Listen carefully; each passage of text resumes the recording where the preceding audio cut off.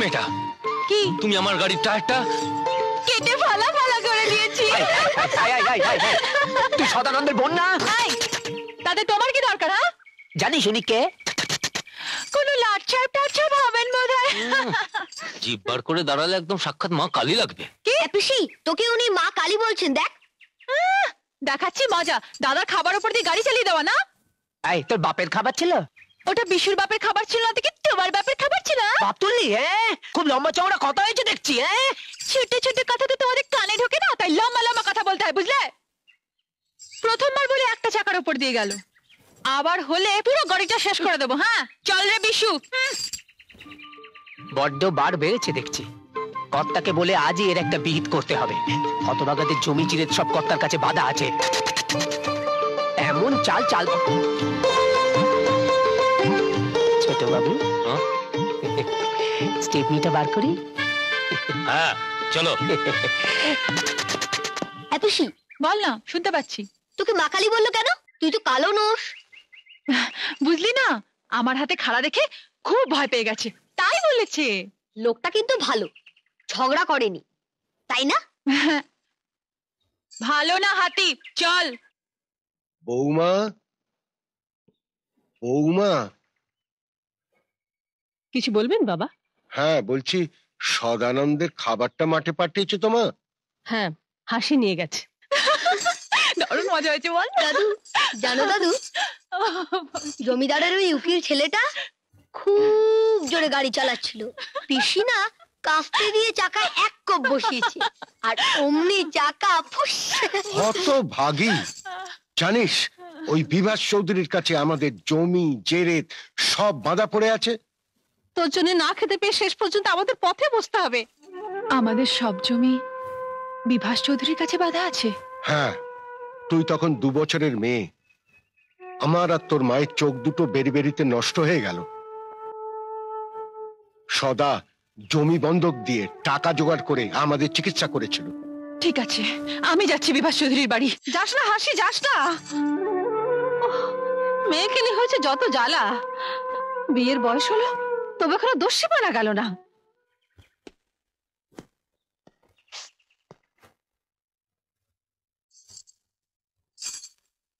এই যে শুনুন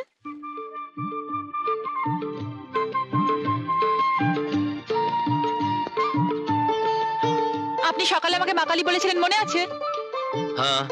তাই বলি কি আমি আপনার সঙ্গে রাগ করে ঝগড়া করেছি না আপনার টায়ার কেটে দিয়েছি। আপনি হাসছেন? আমার কথা জবাব দিন। আমি কিছু করেছিলাম? না তা অবশ্য করনি। তবে তার আগেই তুমি আমার গাড়ির একটা টায়ার পাঞ্চার করে দিলে। কেন দেব না? আপনি বাবা দাদার মুখের খাবারটা নষ্ট করে দিলেন কেন? সেই দেখেই তো আমার রাগ হয়ে গেল। তাহলে অন্যায়টা আপনিই প্রথম করেছিলেন বলুন। তা অবশ্য ঠিক। তাহলে বলুন আপনার বাবা আমার দাদাকে কিছু বলবে না তো? না আমি কিছু বলব কিন্তু আপনি আপনার বাবাকে সব কিছু বলে দেবেন না? ঠিক আছে আমি বলে দেবো। বলে দেবো যে বাবা শেফালিকে তোমার নাম তো শেফালি? শেফালি? শেফালিকে। আমার নাম হাসি। ও হাসি? বা খুব সুন্দর নাম। ঠিক আছে আমি বলে দেবো যে বাবা হাসি খুব ভালো মেয়ে হাসি কিচ্ছু করে ঠিক আছে।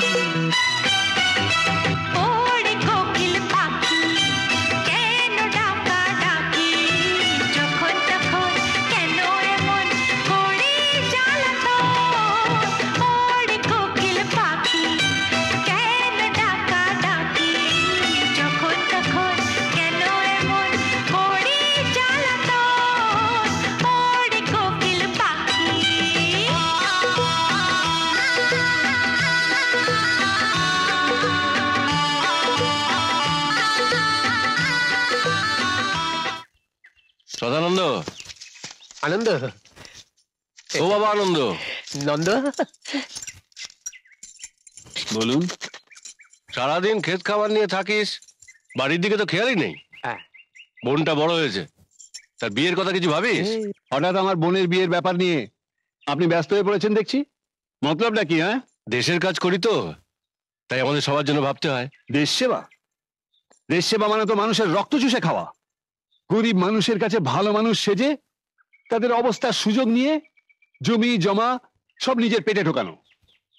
এই দেখ তুই এত অপমান করলি আমি কিন্তু রাখছি না। রাখছি না? না। যাকে এবার তুই আমার একটা গতি কর। করব। আপনার মতো মানুষকে কাঁধে করে শ্মশানে নিয়ে যাওয়া তো পুণ্যের কথা। হ্যাঁ ওটা তো সদ্গতি। সে গতির কথা বলছি না।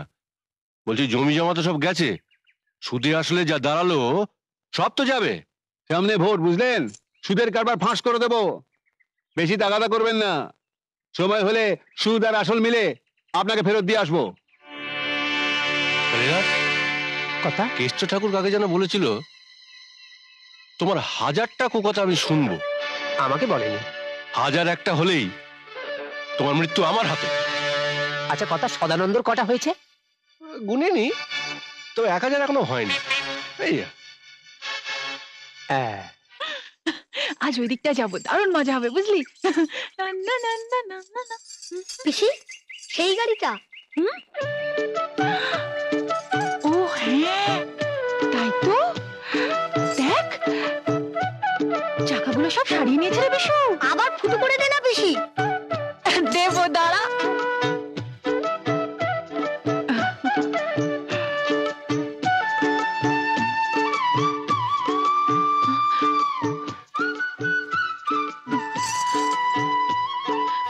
রাস্তার উপর গাড়ি দাঁড় করিয়ে কোথায় গেছিলেন? বলছি তার আগে তুমি বলো তুমি গাড়ির তলায় কি দেখছিলে? চাকা হলো। চাকা? হুম। না বিশু আমরা তো হ্যাঁ পিসি দেখছিল ওই কোন চাকাটা। উফ তুই চুপ কর তো আমি বলছি। বলছিলাম যে ওই দেখছিলাম যে ওই কোন চাকাটা ফুটো হয়েছে আর কি মানে। তা ফুটো না থাকলে আগের মতো আবার ফুটো করে দেবে? চা পিসি হাসিস না? উনি ভাববেন যে আমরা ওনার সঙ্গে ভাব করতে চাই। ভাবুক না। ভাব করতে আমার বই গেছে। বাহ তোমার বাহনটি তো দারুণ হুম? পিসি কাটাইটা আনব? এই কাঠারি দিয়ে কি হবে? গাড়ির চাকা ফুস হয়ে হ্যাঁ? যাবে।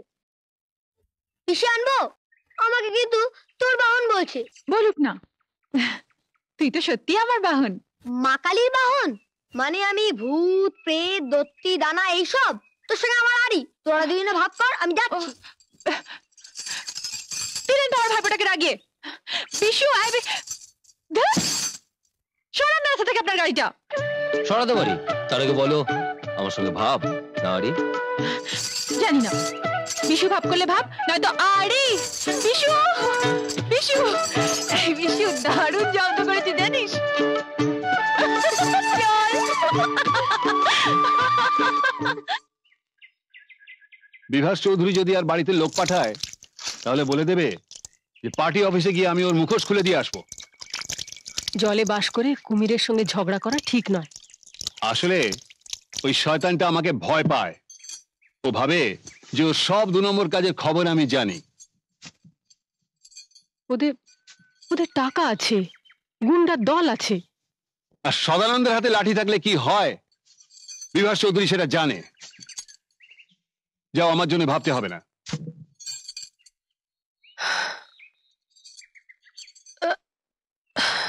যাই হোক যা করবে বুঝে শুনে করো।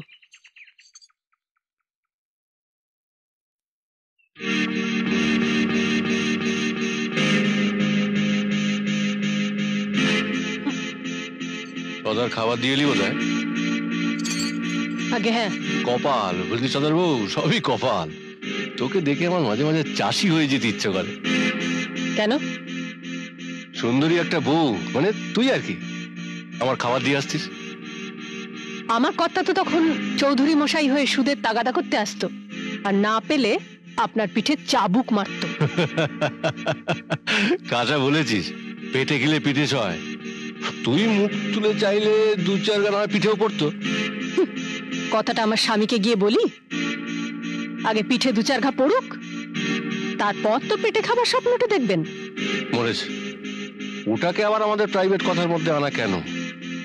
তোর ভালোর জন্যই বলে গেলাম, সুদে আসলে যা দাঁড়িয়েছে, তাতে ভিটে মাটি বেহাত হয়ে যাবে। চলি।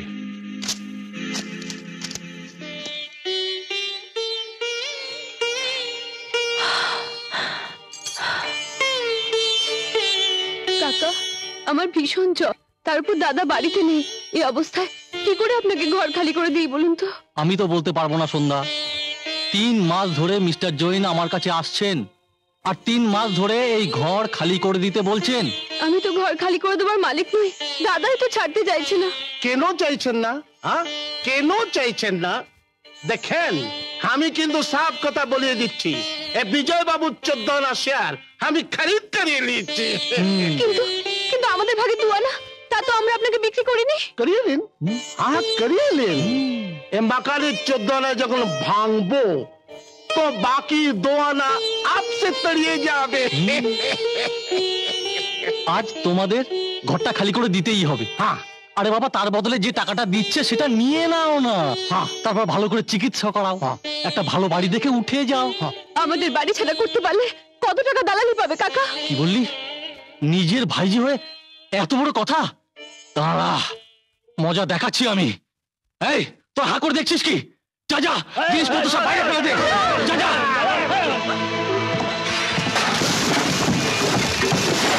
তোমার পায়ে পড়ি। দাদা আসা পর্যন্ত অন্তত অপেক্ষা করো। ওঠ। যা ওঠ।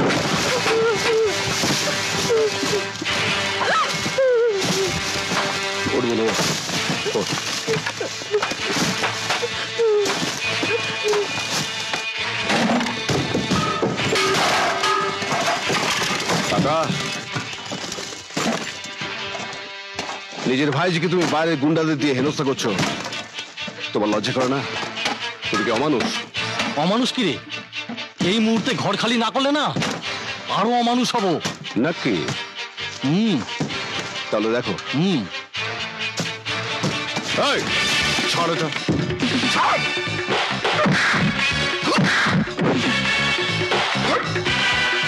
আয়।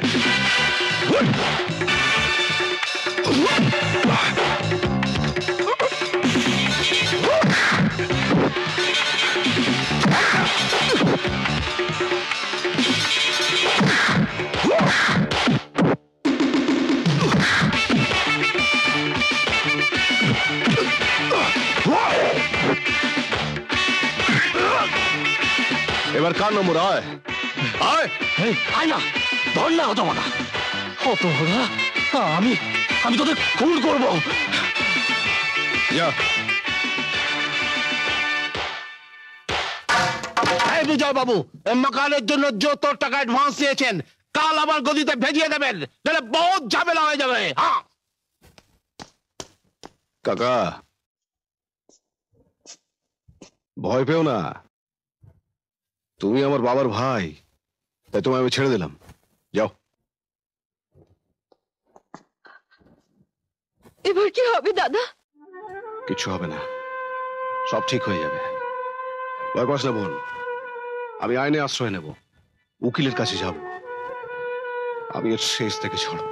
মুশকিল হচ্ছে যে প্রমোটার যদি চোদ্দ আনা অংশ পেয়ে যায় তাহলে তো আপনি দু আনা অংশের অংশীদার হয়ে বাড়ি বিক্রি আটকাতে পারেন না। বরুণ বাবু আমি তো বাড়ি বিক্রি আটকাতে চাইছি না। আসলে আমার বাবা মা মরা একমাত্র বোন। খুবই অসুস্থ। ওই বাড়িটাই তার একমাত্র আশ্রয়। ও একটু সুস্থ হয়ে গেলে আমি নিজে বাড়িটা ছেড়ে চলে যাব। সে কটা দিন কি ও বাড়িতে আমরা থাকতে পারব না? আসলে ব্যাপারটা হচ্ছে বরুণ বাবু বাবা এখনও আসেননি? না তো।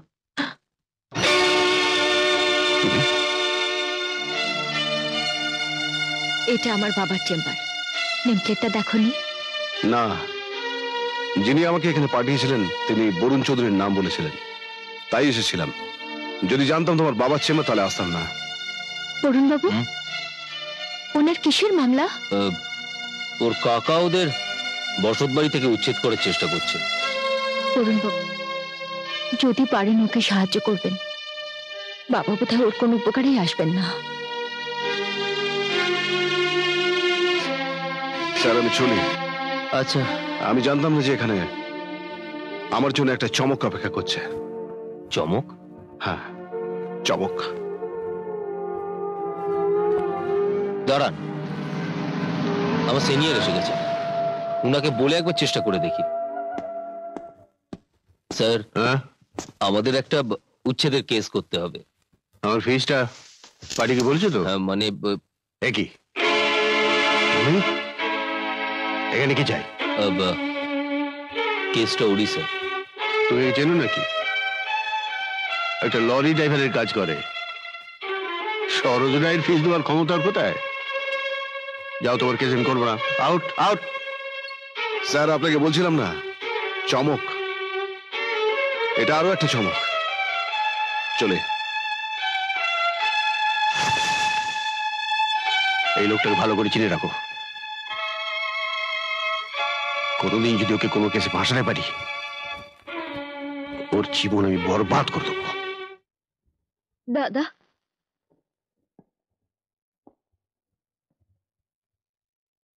তোকে একটা কথা বলব। রাগ করবি না তো?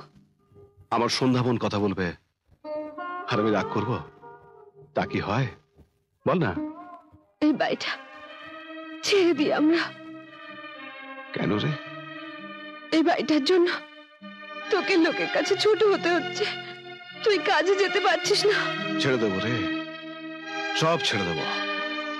আমার সন্ধ্যাবনটা সুস্থ হয়ে গেলে আমি সব ছেড়ে দেবো। নে আর কথা বলিস না। ঘুমের ওষুধ খেয়েছিস? ঘুমিয়ে পড়। তুই? বোন না ঘুমোলে কি দাদা ঘুমোতে পারে? নে চোখ বোঝ।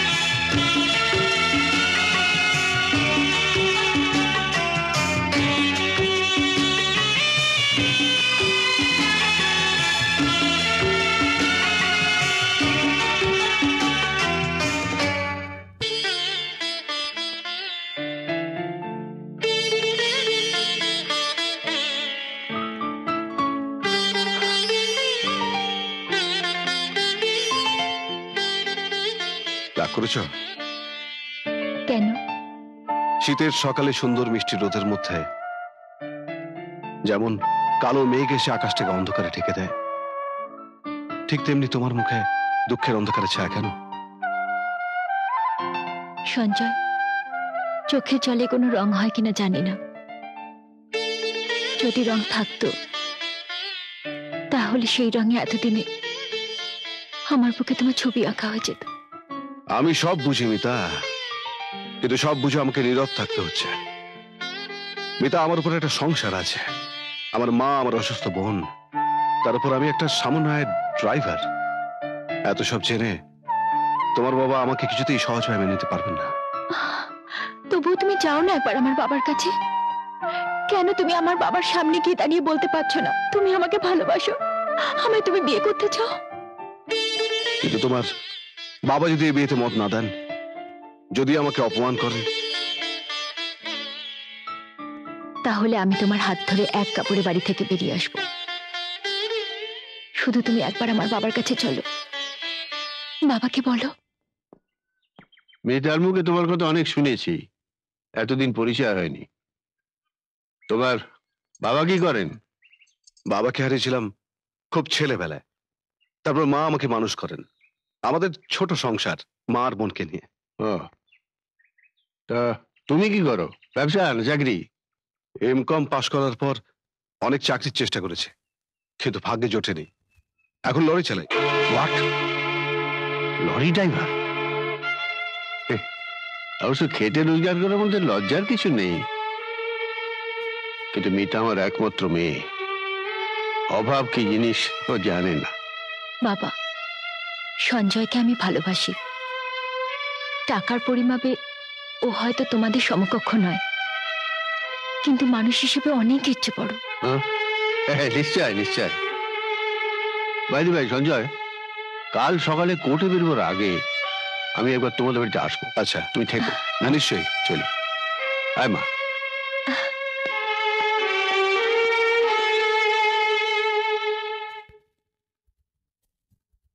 মা! মা! মা দাদা ডাকছে। ঘরে আসতে বল না। দাদা ঘরে আয়। আসুন। মা ইনি পারমিতার বাবা। ও। Mister Saroj Roy advocate. নমস্কার নমস্কার। বসুন না। আমার কত বড় সৌভাগ্য যে আপনি সৌভাগ্য তো বটেই। একজন সামান্য লরি ড্রাইভারের সঙ্গে আমার মেয়ে বিয়ে হবে। বামন হয়ে চাঁদে হাত দেওয়া। সৌভাগ্য তো বটেই। আমার ছেলে তো এম কম পাশ করেও কোনো চাকরি পায়নি? তাই বাধ্য হয়ে কোনো কাজই লজ্জা নয় মা। তাছাড়া লরি চালানো খারাপ কাজ নয়।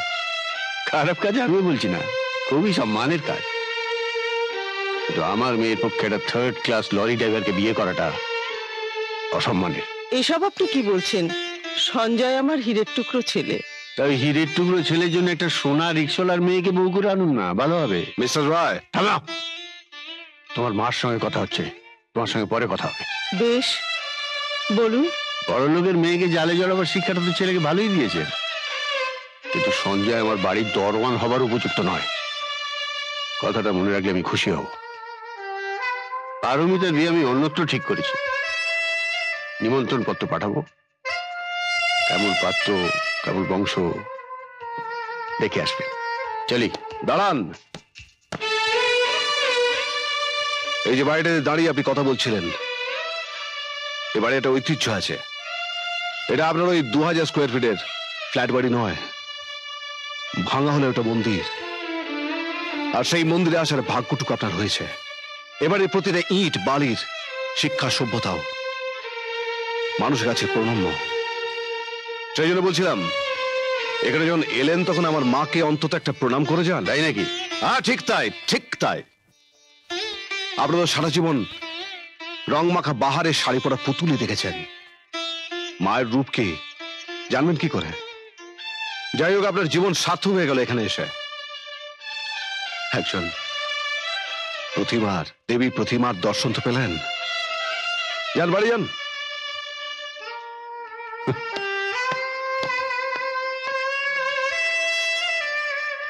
আমায় ক্ষমা করে দাও, মা। সঞ্জু?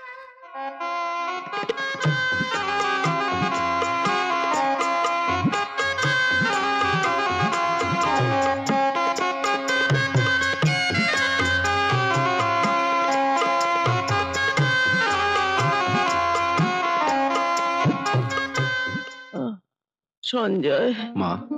সঞ্জয়। সন্ধ্যাকে দেখিস বাবা। সন্ধ্যাকে দেখিস। দেখব মা। মা। নিশ্চয় দেখব। আরেকটা কথা বাবা। বলো মা। আমাকে কথা দে। পারমিতাকে তুই কোনোদিন বিয়ে করবি না। এই বাড়িতে সে কোনোদিন বউ হয়ে আসবে না। আমি তোমায় কথা দিচ্ছি মা। আমি তোমায় কথা দিচ্ছি। আমি জীবনে বিয়ে করব না। পারমিতা কেন? আমার জীবনে কখনো কোনোদিন কোনো মেয়ে আসবে না মা। বাবা আমার মৃত্যু আহ, আমাকে ছুঁয়ে কথা দিলি তো বাবা। হ্যাঁ মা আমি কথা দিলাম।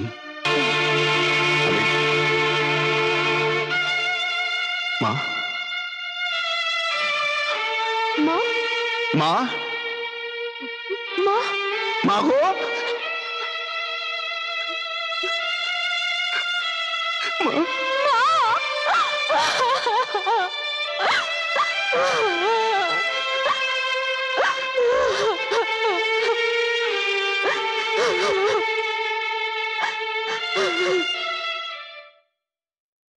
জানো মা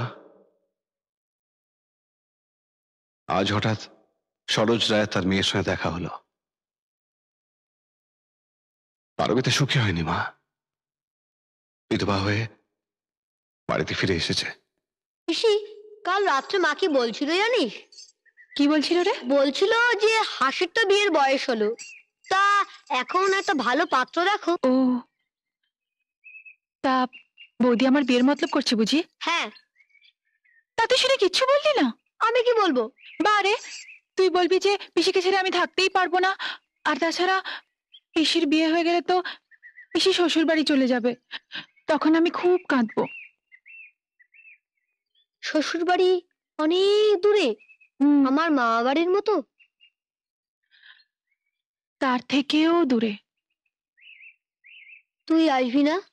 না আসব না। তাহলে আমাকে গাছ থেকে আম জাম পেয়ারা কে পেরে দেবে? সে আমি কি জানি? বিয়ের কথা শুনে তো তোর চিৎকার করে কাঁদা উচিত ছিল। এখন কাঁদবো? এখন কেঁদে কি হবে? আবার যখন বিয়ের কথা হবে তখন তুই এমন চিৎকার করে কাঁদবি তখন দাদা খেপে গিয়ে বলবে দেবো না হাসির বিয়ে। পিসি সেই গাড়িটা। চল। কে আজ আবার গাড়ির তলায় কিছু নেই তো? না। তুমি না বলেছিলে আমার পিসি মা কালী। আসলে আমার পিসি কি জানো? কে? আমার পিসি হলো মা দুর্গা আর আমি তার বাহন সিংহ। সর্বনা একে মা দুর্গা তার উপর আবার সিংহ। প্রাণটা থাকলে হয়। কেন? আমরা কি আপনাকে খেয়ে ফেলব নাকি? ওটার আর বাকি আছে নাকি? ওটা তো প্রথম দিনই হয়ে গেছে। এই যে মশাই তোমার নামটা কি? আমার নাম হচ্ছে বরুণ বরুণ চৌধুরী।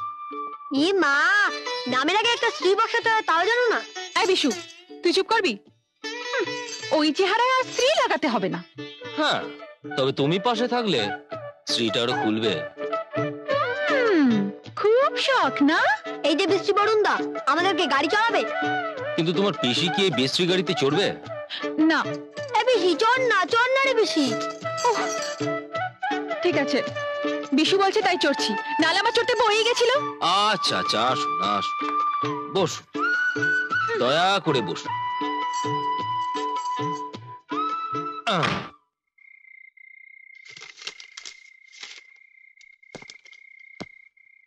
আপনি একটু আসুন। ডাক্তার? যা সন্দেহ করেছিলাম তাই। ক্যান্সার। হ্যাঁ। রিপোর্টে ক্যান্সারই ডিটেক্টেড হয়েছে। কিছু করার নেই। খুব অ্যাডভান্স স্টেজ। অপারেশন করালে খুব তাড়াতাড়ি স্প্রেড করবে। কেমোথেরাপি আই মিন ওষুধের উপর যে কদিন চলে চলুক। রিপোর্টটা রেখে দিন। আমি আসি।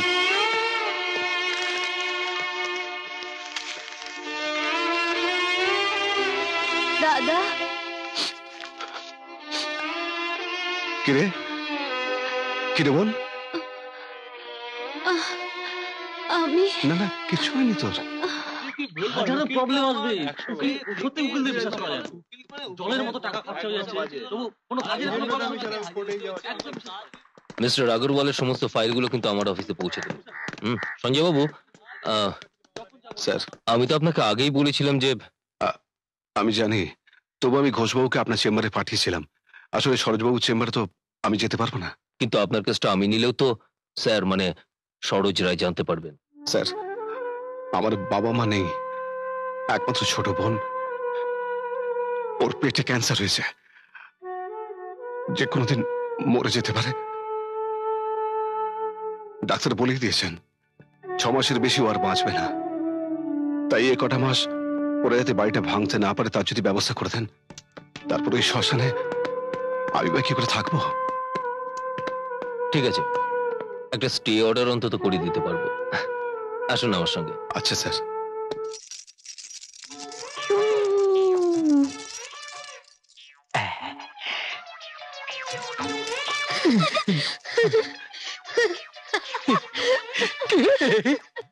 তারপর করে হাসছিস কেন একটা কথা মনে পড়ে গেল তাই হাসছি। কি কথা? কাল রাত্রে পিসি তোমার ছোট বাবুকে লঙ্কার তরকারি খাইয়েছে। তাই নাকি? হ্যাঁ? তোর পিসি ছোট বাবুকে? হ্যাঁ এবার তোমার বড় বাবুকেও খাওয়াবে বলেছে। বিশু? কার সঙ্গে কথা বলছিস বিশু? হাতের লেখাটা কি আমি করব? আর ছেলেতে হাতের লেখা শিখিয়ে কি হবে সদার বউ? এবার তোমাদের ছেলে তো নিজের কপালেই লিখতে শুরু করবে। কেন? সেটা ছেলেকে জিজ্ঞেস করো। যাকে যাকে আমাকে যা বলেছে বলেছে অন্য কাউকে বলতে বারণ করো। কি বলেছে? আমার কর্তাকে নাকি লঙ্কা বাটার তরকারি খাওয়াবে। তো লঙ্কার আর কতটুকু ঝাল বলো? আমার কর্তার ঝাল তার থেকে হাজার গুণ বেশি। নেহাত তোমাকে যে কি চোখে দেখেছেন? আর কিছু বলবে? কর্তা কর্তা তো প্রায়ই বলেন কালি সদার বউ যদি ইচ্ছে করে তাহলে শ্বশুরের বন্ধক দেয়া জমিটা একদিনই ছাড়িয়ে নিয়ে যেতে পারে। তা ইচ্ছেটা করো না গো। তোমার কর্তাকে গিয়ে বলো উনুনের চেলা কাঠ নিয়ে গিয়ে তোমার কর্তার মুখে আগুন জ্বালিয়ে দিয়ে আসব। বাবা খুব ভালো। আরে কিছু খুশির খবর দাও কালীনাথ। আপনার জন্য আগ বাড়িয়ে চর খেয়ে এলাম কর্তা। ওই সদানন্দ যদি জানতে পারে তাহলে আর দেখতে হবে না। যা গোয়ার মানুষ। তেমন হলে সদানন্দকে পৃথিবী থেকে সরে যেতে হবে। তো পাখিকে আমি আমার খাঁচাতে এনে পুরবই। কর্তা এই দেশি পাখি না। সাইবেরিয়ান পাখি। কে বললে? খেলাচ্ছে আমায় বুঝলে? তুমি কোন সকালে এসব কথা বলে এসেছ? মহামায়া যদি সদানন্দকে এসব কথা বলতো তাহলে চুপ করে থাকতো? টুটি চেপে ধরতো? তাহলে তো পিস্তলটা সঙ্গে রাখবে আর মহামায়া বিধবা হবে। খেতে না পেয়ে পেটের দায়ে আমারই বাগান বাড়িতে উঠবে।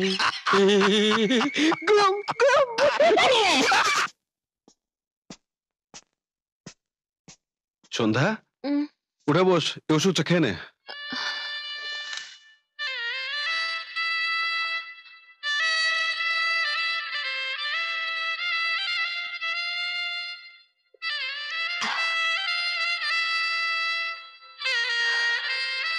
কি দেখছিস রে?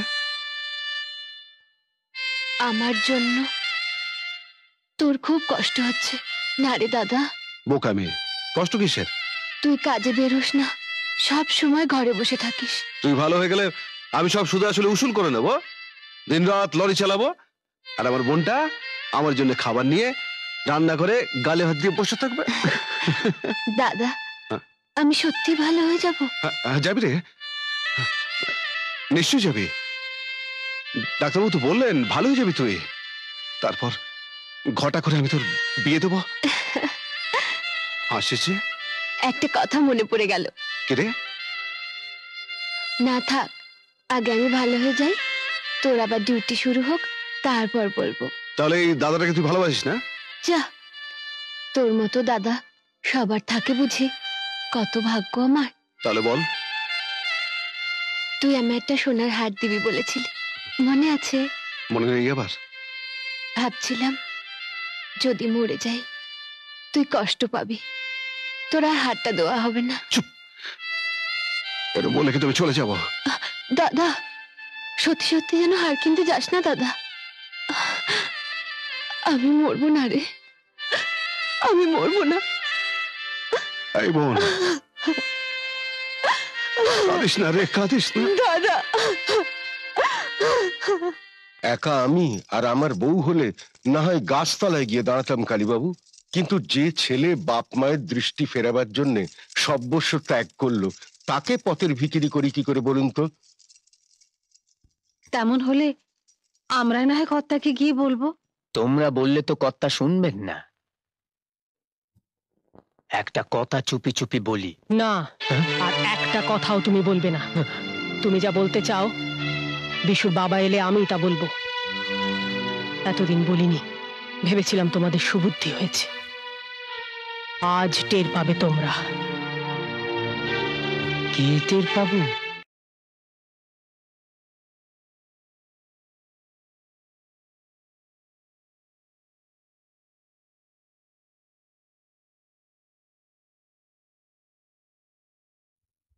তোমরা সবাই এখানে চুপ করে দাঁড়িয়ে আছো কেন? কিছু বলো? কি হয়েছে কি? এত দেরি করলে সঞ্জয়? যাও ঘরে গিয়ে দেখো।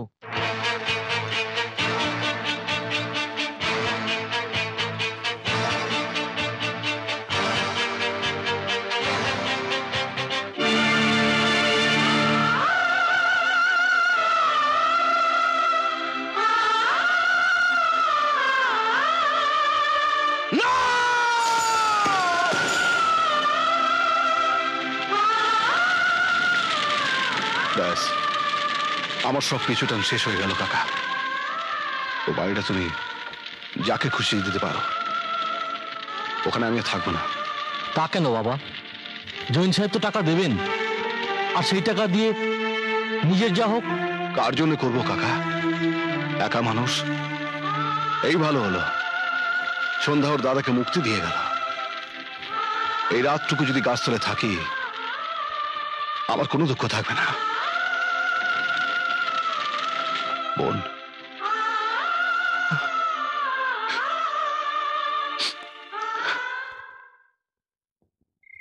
আরে কি মুশকিল।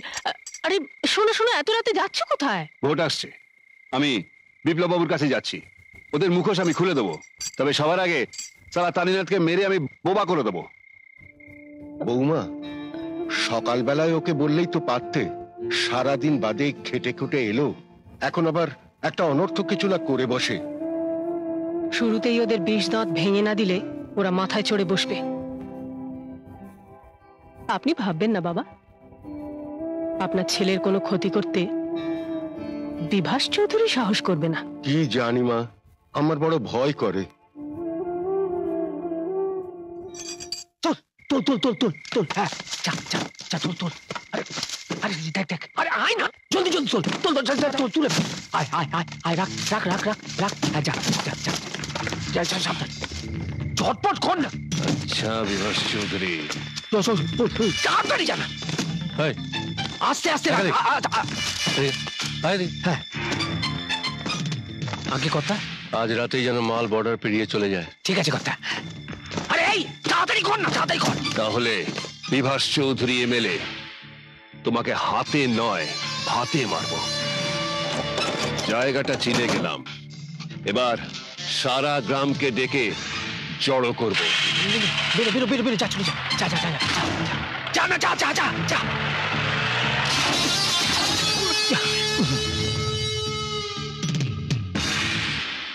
চলুন কথা।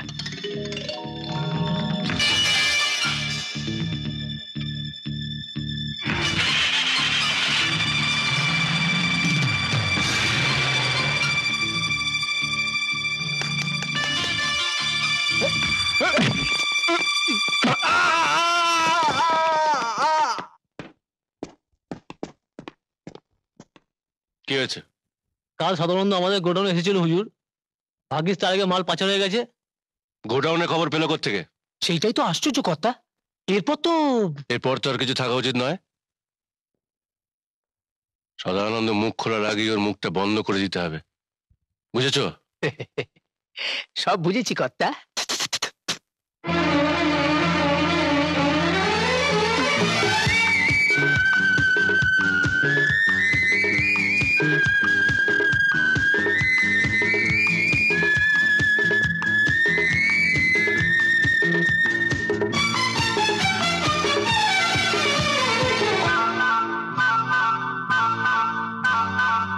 খোলা আকাশে ঘর আমার।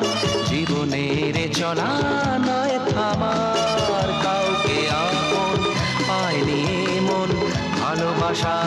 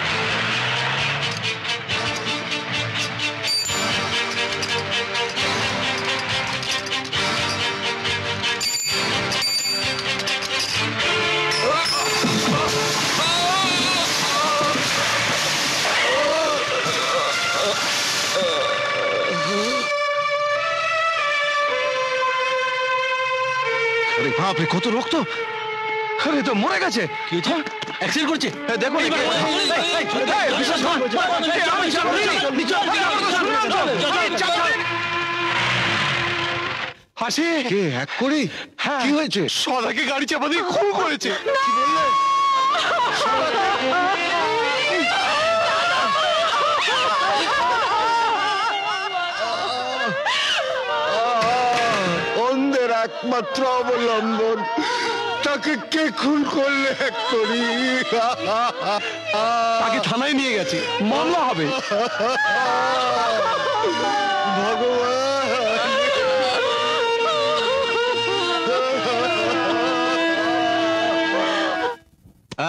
কি সৌভাগ্য আমার হ্যাঁ? বিভাস চৌধুরীর পায়ের ধুলো পড়েছে? বলো ছুটির দিন সব কাজ ছেড়ে আমার কাছে? তোমাকে ছাড়া তো আমার কোনো উপায় নেই। একবার চাচা খুব জ্বালাচ্ছে বুঝলে? খতম করে দিয়েছ তো? আমি না এক ড্রাইভার ওকে চাপা দিয়ে মেরেছে। ড্রাইভারটা অবশ্য ধরা পড়েছে। আমি চাই যে কেসটা তুমি হাতে নাও। আসামি নামধাম কিছু বলেছে? বউবাজারের মিত্রি বাড়ির ছেলে সঞ্জয় মিত্র। কেসটা আমি নেব বিভাস টাকা পয়সার জন্য তুমি কিছু ভেবো না। আরে না না। টাকার জন্য তুমি যে কার্পণ্য করবে না এটা আমি জানি। কিন্তু আমি যার কথা ভাবছি যদি সে হয় তাহলে আমি নিজের ইন্টারেস্টই কেসটা নেব। কি ব্যাপার তুমি? দেখা করতেও কি পারি না? তুমি পরস্ত্রী বিধবা। এভাবে দেখা করলে নানারকম কথা তো উঠতে পারে। কার কাছে সে কথা যাবে বলতে পারো? যার সঙ্গে বিয়ে হয়েছিল। বিয়ের এক বছরের মধ্যে সে মরে গেল। খুব বেশি মদ খাবার ফলে। ভাগ্যের লিখন কেউ খণ্ডাতে পারে? আমি ভাগ্য মানি না। কেন তুমি আমাকে জোর করে নিয়ে গেলে না? কেন তুমি কাপুরুষের মতো লুকিয়েছিলে? আমার এই অবস্থার জন্য তুমি দায়ী। হ্যাঁ তুমি। পারবিতা তোমার সব প্রশ্নের উত্তর আমার জানা আছে। কিন্তু আমি দেব না। আমার মাকে আমি মৃত্যু সজ্জায় কথা দিয়েছিলাম যে বিয়ের স্বপ্ন আমি কোনোদিন দেখব না। আর সে কথা আমি রাখবই। আর দেখছি তো যদি কাউকে বিয়ে করতাম তাহলে সে হতভাগীর কি হতো? দুদিন বাদিন তো আবার ফাঁসি হয়ে যাবে। সত্যি কি তুমি লোকটাকে নেশার করে গাড়ি চাপা দিয়েছিলে? মিতা তুমি তো জানো নেশা কাকে বলে তা আমি জীবনে জানি না। তারপর নেশার ঘোর। মিতা লোকটাকে আমি গাড়ি চাপা দিইনি। কিন্তু কি করেছে আমার গাড়ির চাকার নিচে এসে গেল। তারপর কিছু বুঝতে পারছে না সব গোলমাল হয়ে যাচ্ছে। তাহলে আদালতে তুমি তাই বলো? সেটা আমার ব্যাপার। আর কিছু বলবে? হ্যাঁ। একটা কথা শেষবারের মতো বলে যাই। তোমার বিরুদ্ধে আমার বাবা কোর্টে দাঁড়াচ্ছে।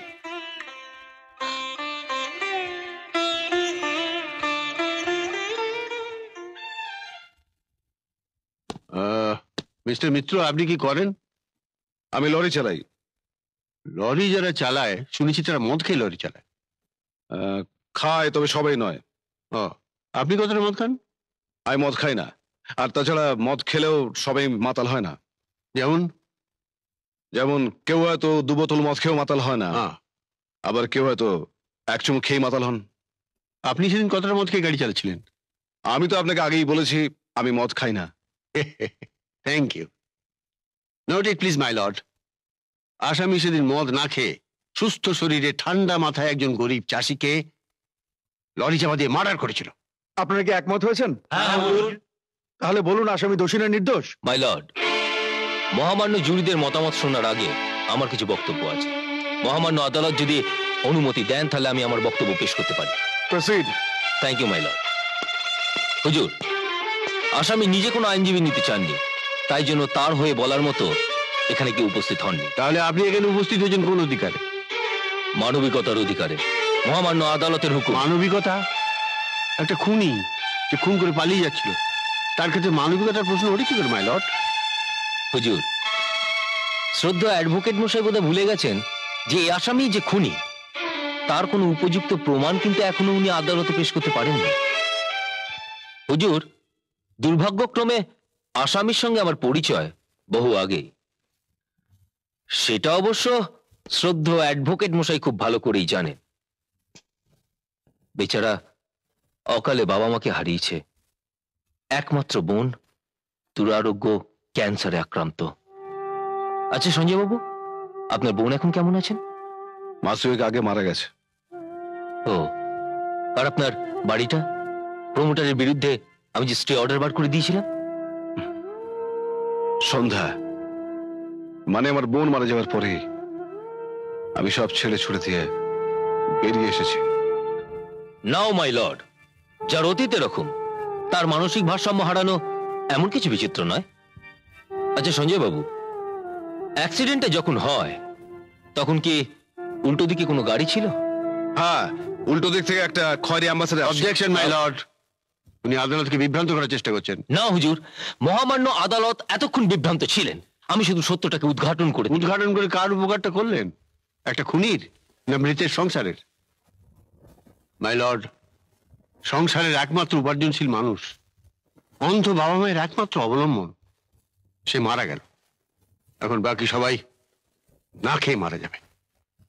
কাজেই একটা প্রত্যক্ষ খুন আর অনেকগুলো পরোক্ষ খুনের জন্য দায়ী হচ্ছেন এই সঞ্জয় মিত্র।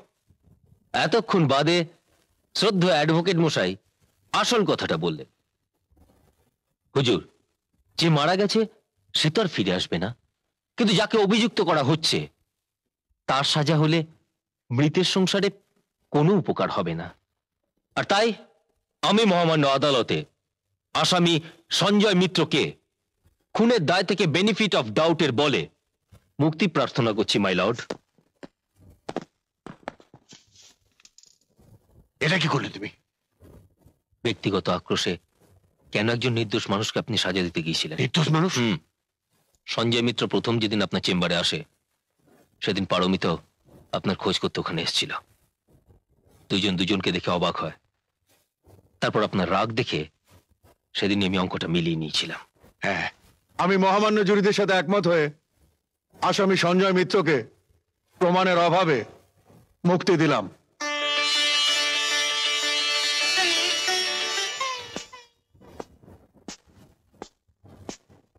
দাঁড়াও। আদালত তোমাকে ক্ষমা করলেও আমি কোনোদিন তোমাকে ক্ষমা করব না। কে আপনি? চিনতে পারছ না? যার যার শীতে সিধু তুমি মুছে দিয়েছ। আমার শ্বশুর শাশুড়িকে সন্তান হারা করেছ তুমি। আমার একমাত্র ছেলেকে পিতৃহারা করেছ তুমি। ভেবেছো ঈশ্বর নেই? ঈশ্বর আছেন। তার বিচারে তুমি খুনি খুনি খুনি। না, আমি খুনি নই।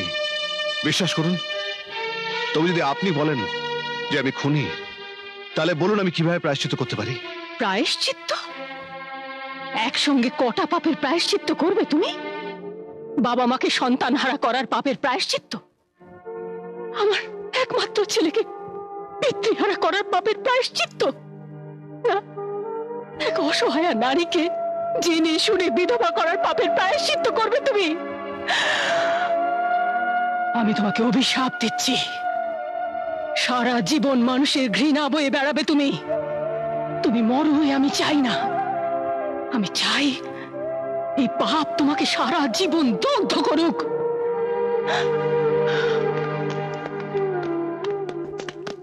শুনুন একটা কথা। খালাস পেয়ে গেল রে। সদানন্দের মতো ভালো মানুষকে চাপা দিয়ে খুন করে আইনের মারপ্যাচে বেজে গেল। এবার আর কটাকে খুন করে দেখ? কোর্টের বিচার শেষ হয়েছে কর্তা। এবার আমাদের বিচার বাকি আছে। এই তো চাই। বাইরে এলে তোরাই গণধরাই করে দে। চল। সমাজ সেবা করি আমি থাকলে শয়তানটাকে বাঁচাতেই হবে চল বারবার বলেছি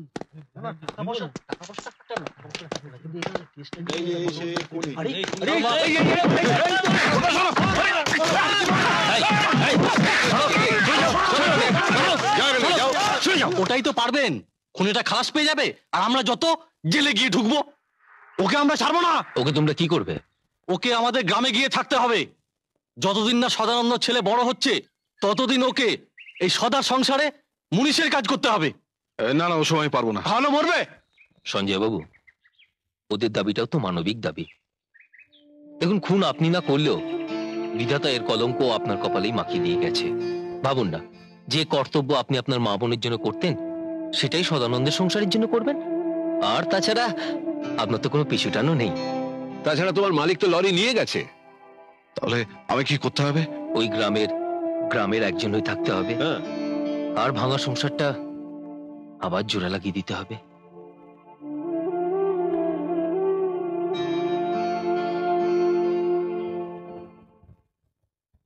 সঞ্জয় মিত্র স্বেচ্ছায় যদি একটি গ্রামে গিয়ে একটা সংসারে হাল ধরতে চান তাহলে আদালতের কাছে আবেদন করার প্রশ্নই ওঠে না।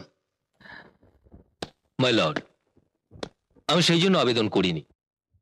আমার মহামান্য আদালতের কাছে শুধুমাত্র একটাই অনুরোধ যে উন্মত্ত গ্রামবাসীদের হাত থেকে সঞ্জয়বাবুকে রক্ষা করার জন্য মহামান্য আদালত যেন সরকারকে নির্দেশ দেন যে লোকাল থানা সঞ্জয়বাবু ঠিক মতো প্রোটেকশন নেয়।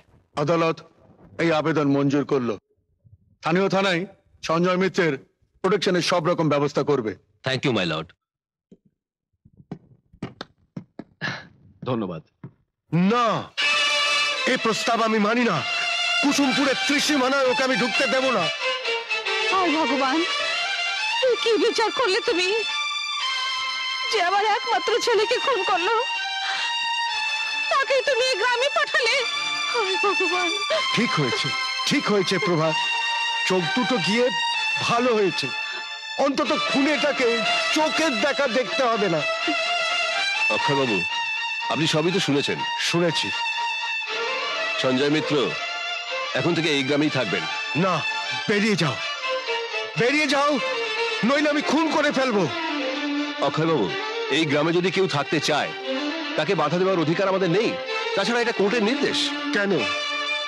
কোর্ট এমন নির্দেশ দেয় কেন? শুনুন আমি দোষ করে থাকি বা না থাকি যখন দোষী সাব্যস্ত হয়েছি তখন প্রায়শ্চিত্ত তো আমাকে করতেই হবে। প্রায়শ্চিত্ত করবে? কি প্রায়শ্চিত্ত করবে? পারবে? পারবে আমার সদাকে ফিরিয়ে দিতে? বলো বলো পারবে? তা হয়তো পারব না। কিন্তু ভাবুন না আমি আপনাদের সদানন্দ। না খবরদার ও কথা তুমি উচ্চারণ করো না। বড় বৌদি মায়ের সমান জানেন তো? সন্তান যদি কোনো অন্যায় করে কোনো পাপ করে কোনো দোষ করে তাহলে মা কিন্তু নিজে কোনো তা মাফ করে দেন। বড় বড় কথা বলো না। তুমি ক্ষমার অযোগ্য। মরে গেলেও তোমাকে ক্ষমা করব না। অক্ষয়বাবু আমার কাজ আছে আমি আসি। চিন্তা করবেন না বাবা। বাড়ির বাইরে যে ঘরটা আছে আমি ওখানেই থাকব। আমার মুখও আপনারা দেখতে পাবেন না। চলুন দ্বারকা বাবু। চলুন। পিসি ওই লোকটা কে রে? ওই লোকটাই তো তোর বাবাকে খুন করেছিল। খুনে। খুনি? তাহলে কাঁদছিল কেন? তুই দেখেছিস নাকি? হ্যাঁ। যে খুন করে সে কি কাঁদে?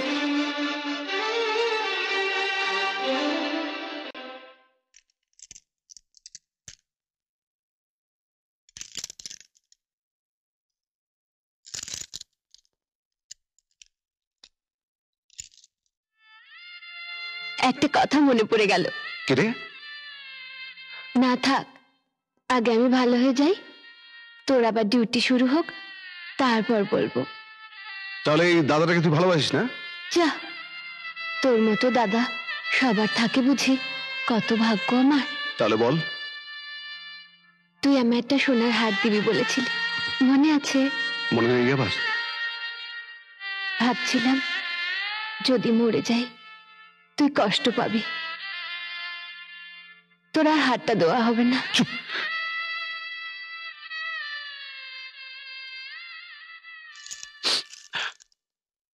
কিছু বলবে? তুমি আমার মাকে বললে বড় বৌদি মায়ের মতন। এর মানে কি? বড় বৌদি মায়ের মতো। মাই হয়। তাহলে আমার মা আর তোমার মা এক বলো? হ্যাঁ এক। তাহলে তুমি আমার দাদা। হ্যাঁ তাই তো তোমার দাদা। তাহলে আমি তোমায় কি বলে ডাকবো? তোমার যা খুশি যে নামে ডাকতে ইচ্ছে করে। উম, আচ্ছা আমি তোমায় খুনে দাদা বলে ডাকবো। খুনে দাদা? হ্যাঁ পিসি মা দাদু ঠাম্মা সবাই বলছিল তুমি খুনি।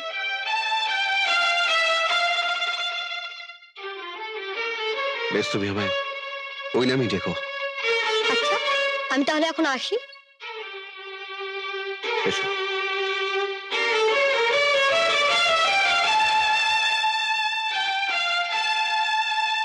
খুনে দাদা। ছেলেটার ওপরে সেদিন খুব রেগে গিয়েছিলাম বুঝলে? এখন দেখছি কেঁচো খুঁড়তে গিয়ে সাপ বেরিয়ে পড়তো। সাপে বর হয়ে যেত। কি বলছেন কর্তা? ওই খুনেটা যেভাবে ওখানে জাঁকিয়ে বসেছে তাতে তো মনে হচ্ছে দুদিন বাদে শালাকে ওরা মেনে নেবে। আর যেই মেনে নিক সদ্য বিধবা হয়েছে মহামায়া ও কিন্তু কিছুতেই মেনে নেবে না। যদি অভাবে পড়ে ওই বুড়োটা ওই খুনেটাকে মেনে নেয় কথা? তুমি ওই বিধবা মহামায়াকে নিয়ে একটা রসালো গল্প বানিয়ে গ্রামের মধ্যে ছড়িয়ে দাও। কিন্তু কথা বউটা তো খুনিটার সঙ্গে কথা বলা তো দূরের কথা দেখাই করে না। সুনাম ছড়াতে অনেক সময় লাগে কালি বদনাম ছড়াতে কিন্তু সময় লাগে না। দাবানলের মতো হু হু করে ছড়িয়ে পড়ে। হ্যাঁ ঠিক বলেছেন কর্তা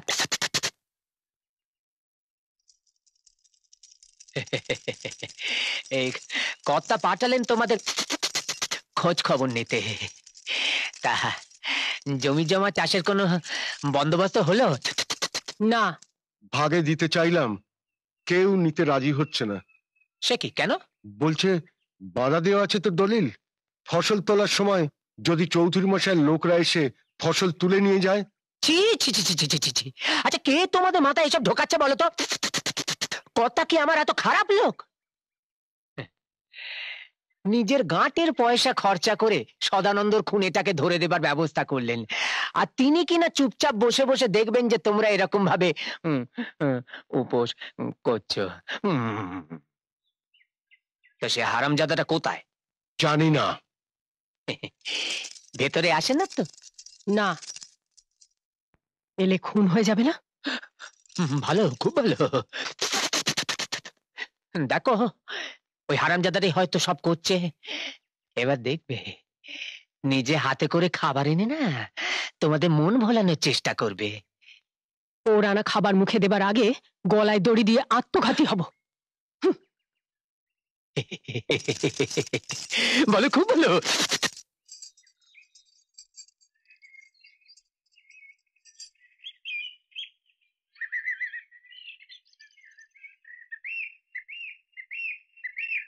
কার ধ্যান করছ? ভূতের। হ্যাঁ ও মা আমি ভাবলাম কে না কে। আমি তো ভাবলাম তুমি আমার ধ্যান করছ। ইস আমার বই গেছে তোমার ধ্যান করতে। বই গেছে? তাছাড়া আর কি। সবাই কি বলছে জানো? কি বলছে? বলছে যে যেই লোকটা আমার দাদাকে খুন করেছিল তাকে নাকি তুমি আরজি দিয়ে আদালতে বাঁচিয়ে দিয়েছ। হ্যাঁ। কেন দিয়েছ? তুমি জানো না? ওই লোকটা আমার দাদাকে গাড়ি চাপা দিয়ে খুন করেছিল? সঞ্জয়কে আমি আগে থেকে চিনি হাসি। আর আমি জানি যে গাড়ি চাপা শুধুমাত্র মানুষের দোষে হয় না গাড়ির দোষেও হয়। আর যেহেতু আমি নিজে গাড়ি চালাই সেহেতু আমি জানি যে জেনে শুনে কেউ কাউকে গাড়ি চাপা দিয়ে খুন করতে পারে না। পারে না! না পারে না। তাছাড়া তোমার দাদার সাথে সঞ্জয়ের কোনোদিন দেখাই হয়নি। চেনা তো দূরের কথা। কেন তোমার দাদাকে খুন করতে যাবে বলো? আমাদের বাড়িতে ওকে কেউ বিশ্বাস করে না।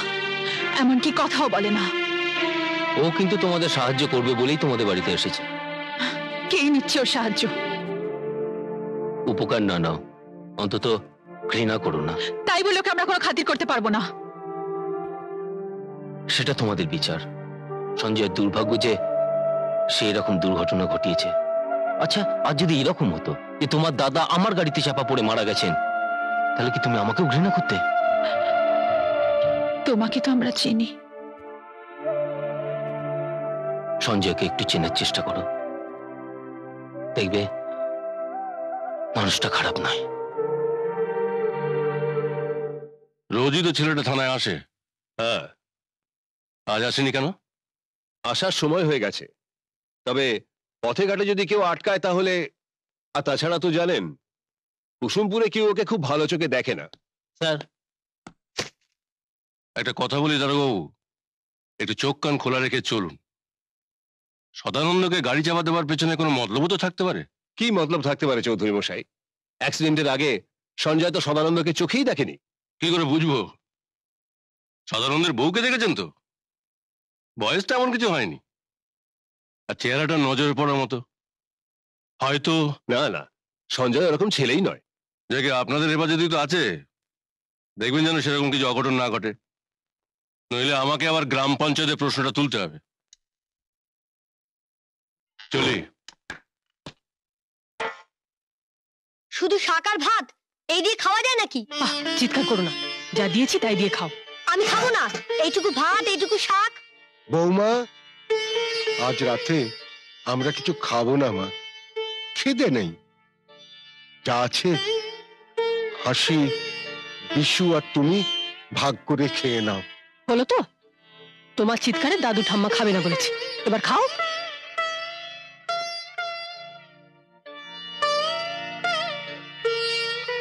আর কদিন এভাবে চালাবেন বাবা? আর মাত্র দুদিনের জোগাড় আছে। তারপর তো কেউই শনির দৃষ্টি পড়েছে তো।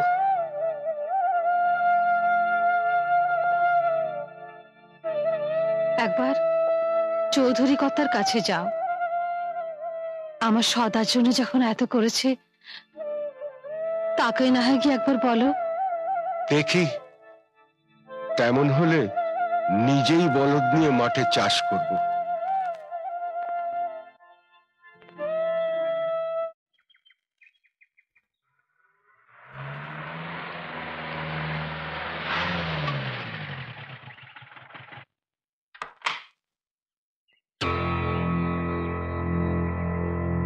কি হলো মুখটা শুকনো শুকনো দেখছি কেন? খাওয়া দাওয়া জুটছে না? জুটছে। তাদের উদাস হয়ে বসে আছো? একটা সংসার পুরো উপোস করতে শুরু করেছে। আমি এত কাছে থেকেও কিছু করতে পারছি না। এভাবে থেকে লাভ কি? আমার কাছে কাজ করবে? কি কাজ? ড্রাইভারি। লরি চালাতে পারবে? হ্যাঁ পারি। আমার লাইসেন্সও আছে। থাক। পরশু থেকে তুমি কাজে লেগে যাও। আর কাল সকালবেলা আমার লোক তোমাকে ডেকে নিয়ে আসবে। মাইনের কথা বললেন না তো? কাজ না দেখে মাইনের কথা বলা যায়? তবে খুশি হলে মাইনেটা ভালোই পাবে। একটা সংসারের জন্য তোমার চিন্তা শেষ নেই, এটা আমি জানি।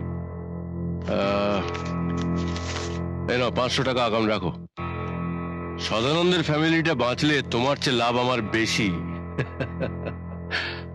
চলি।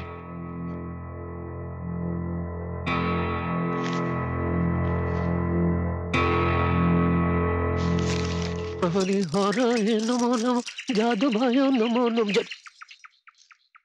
ও সদার বউ সদার বউ। শোনো শোনো, জরুরি কথা আছে। ওই শয়তানটা দেখলুম, মুদির দোকান থেকে চাল, ডাল, তেল কিনছে। তা, নিজেই রান্না করে খায় নাকি?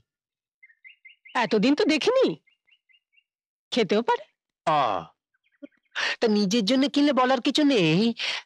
আর যদি তোমাদের জন্য নেয়, তাহলে হাত পেতে নিও না। কথা বলছিল? কথা বলছিল কালি? সদার বউকে গিয়ে একবার বলে আসিস। ওই শয়তানটার টাকায় যদি সদার বউ খায়, তাহলে বদনামের জলে সমাজে মুখ দেখাতে পারবে না। এমনিতে যে দু চার কথা গায়ে হচ্ছে না, তা নয়। কে, কি বলছে? বাতাসে কথা ওড়ে সদার বউ। কার কথা বলব?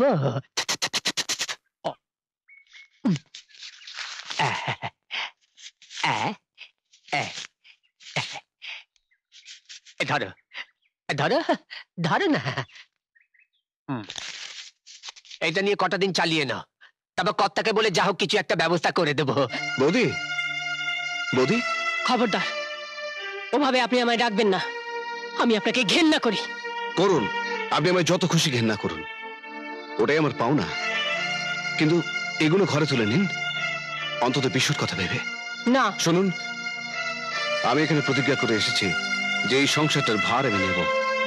এগুলো না নিলে আমার স্বাস্থ্যের ভার আরও বেড়ে যাবে। বিশ্বাস করুন এখানে সবকিছু দেখে আমি সত্যি সংসারটার সঙ্গে জড়িয়ে পড়েছি। আবার বলছি সন্তান মনে করে আমাকে ক্ষমা করে দিন। বিশ্বাস করুন আমি বড় একা। দয়া করে আমাকে একটু করুণা করুন। না আহা বৌমা দরকারি জিনিসই তো দিচ্ছে। নাও তুলে নাও। শুনলেন তো সন্তানহারা মা অনাহারে থাকা বিশুর কথা ভেবে আমাকে ক্ষমা করেছেন। আর বিশু আপনার সন্তান আপনি তার কথা ভেবেও আমাকে এটুকু করুণা করতে পারছেন না? আমি করুণা করলে তুমি মুক্তি পাবে। তোমার শান্তি হবে। সে আমি কিছুতেই হতে দেব না। আমি চাই তুমি তিল তিল করে দৌড়তে দৌড়তে মরো। তাতেই আমার স্বামী তর্পণ করা হবে। তার আত্মা শান্তি পাবে। তুমি এসব নিয়ে নিয়ে নাও বললেই নিতে হবে। বিক্রি করা মাল আমরা ফেরত নিই না। তাহলে এগুলো নিয়ে আমি কি করব? ফেলে দিন। আর নাহলে দান করুন দান করুন। মোট কথা হলো বিক্রি করা মাল আমরা ফেরত নিই হয়েছে নন্দঘোড়া? এই খুনিটা মাল কিনে নিয়ে গেল। আর এখন এসে বলে ফেরত নাও। না না। মুদিখানার দোকানের মাল ফেরত হয় না দাদা। হ্যাঁ বদল হতে পারে। একবার নগদ তহবিলে ঢুকে গেলে আর বেরোয় না। হ্যাঁ আপনি তার বদলে অন্য কিছু নিতে পারেন। তাহলে এক টিন কেরোসিন দাও। কেরোসিন। কেরোসিন দিয়ে কারগর জ্বালাবে। ওই তোমার দোকান জ্বালাবো। আমার আমার দোকানটা কেন জ্বালাবে? হ্যাঁ টাকা না দিলে এই দোকানটা পুড়বে। ঝামেলায় কাজ নেই খুড়ো তুই বরঞ্চ টাকাটা ফেরত দিয়ে দাও। আগুন লাগিয়ে দিলে দোকানটাও পুড়বে মালও পুড়বে। দিচ্ছি দিচ্ছি। দাও দাও দাও দাও ও বাবা। নিয়ে যা বাবা এক দুই তিন। আগে টাকা। এই নাও। বাবা। যাও। হ্যাঁ। হ্যাঁ, যাও। টাকাটা কে দিলে বন্ধু? ওই তোমাদের চৌধুরী মাসে দিয়েছে। হ্যাঁ? কেন দিয়েছি বন্ধু? ওই ওর ট্রাক চালাতে হবে। আচ্ছা ওর কিসের ব্যবসা? শ্বশুর বাড়ি পাঠাবার ব্যবসা। মানে? মানে? একবার ওর কাজ করলে দেখতে হবে না। দু মাসের জন্য হলেও জেল থেকে ঘুরিয়ে নিয়ে আসবে। তখন তো তুমি দাগি আসামি। বিয়ে না করেই শ্বশুর বাড়ি। তারপরে তোমাদের বিবাহ চৌধুরীর দু নম্বরই ব্যবসা হ্যাঁ। ওপরে ভালো মানুষের মুখোশ পরে থাকলেও ভেতরে শয়তান। আমার টাকাটা কাজে লাগল না কেন হে? ওরা আমার টাকায় জল পর্যন্ত গ্রহণ করতে চাইছে না। কি আর করা যাবে? তোমার কাছে রেখে দাও। না। কেন? ড্রাইভারের কাজ আমি আর করব না। যাদের জন্য কাজ তারা যখন আমার সাহায্য চায় না তখন আমার দরকার নেই। একবার দিয়ে ফেরত নিতে আমি শিখিনি। আমিও কারও দান নিই না। আমার কাছ থেকে দান না নিলেও আমার ছেলের কাছ থেকে তুমি দান নিয়েছো? না। ওনার কাছ থেকে নিয়ে নি। উনি নিজেই আমাকে বাবা আমি আমার কর্তব্য করেছি কোনো দান করিনি। কর্তব্য করেছ? একটা খুনির প্রাণ বাঁচিয়ে? সঞ্জয় যে খুন করেছিল সেটা কিন্তু আদালতে এখনও প্রমাণ হয়নি। বেনিফিট অফ ডাউটে ও ছাড়া পেয়েছিল। তাহলে কে খুন করেছে সদানন্দকে? সেটাই তো আজ অন্ধকারে থেকে গেল। এই টাকাটা? আপনার হয়ে আমি বাবাকে টাকাটা দিয়ে দেবো। এটা আপনার কাছে রাখুন। কিন্তু মনে করুন না কোনো বন্ধু আপনাকে দিয়েছিল? জানেন আমারও মাঝে মাঝে মনে হয় যে আমিও বোধহয় একেবারে একা। এই বিরাট দুনিয়ায় আমাকে ভালোবাসার মতো মানুষ বোধহয় কেউ নেই। ভগবান বোধহয় আমার জন্য স্নেহ মায়া ভালোবাসা কিছু ভেবে রাখেননি। আবার ঠিক পর মুহূর্তেই ভগবান আমায় জানিয়ে দেন না আমি একা নই। আমাকে ভালোবাসার মতো মানুষ এখন এই পৃথিবীতে আছে। সঞ্জয় ছেলেটা যা হোক বাজারটা করে দিচ্ছিল। ফেরত না দিলেই ভালো করতে বৌমা। কদিন আর চালাতে পারলে বৌমা। শেষ পর্যন্ত আবার সেই টানাটানি। লোকটা কিন্তু খারাপ নয় বৌদি। রাগ করলে কি হবে? ওই তো সেদিন ছেলেগুলোকে ইট ছুঁড়ে মারছিল। কই ও তো কিছু বলল না? আর আমরা খাই না জেনে ও খায় না। তবে আর কি। পিন্ডি রেধে নিয়ে গিয়ে গেলাম। বৌমা যে গেছে সে তার ফিরে আসবে না। বরং যারা আছে তারা কীভাবে বাঁচে সেই কথা ভাবো। ছেলেটার মুখের দিকে একবার ভালো করে তাকিয়ে দেখেছ মা? না খেয়ে শুকিয়ে মরলেও ওর কাছ থেকে কিচ্ছু নেব না। বিশু? বিশু? আরে আরে আরে পালাচ্ছ কেন আমায় দেখে হ্যাঁ? হ্যাঁ পালাচ্ছ কেন? আমি তোমায় ডাকছি আর তুমি পালাচ্ছ আমায় দেখে? বসো। তোমার সঙ্গে অনেক কথা আছে। আমার আমার খিদে পায়নি খুঁড়ে দাদা আমার একদম খিদে পায়নি। কিন্তু আমি তো দেখছি তোমার খিদে পেয়েছে। না না তুমি আমার পেট ধরে দেখো আমার পেট ভর্তি আছে আমার একদম খিদে পাইনি মিথ্যে বলছো। তুমি কাল রাত্রে কি খেয়েছো? কিচ্ছু খাইনি। শুনে দাদা তুমি কেন আমার বাবাকে গাড়ি চাপা দিলে? আমি জানি না ভাই। কেন তোমার বাবা আমার গাড়ির নিচে চাপা পড়লেন আমি নিজেই জানি না। এসো আমার সঙ্গে। কোথায়? আরে এসো না।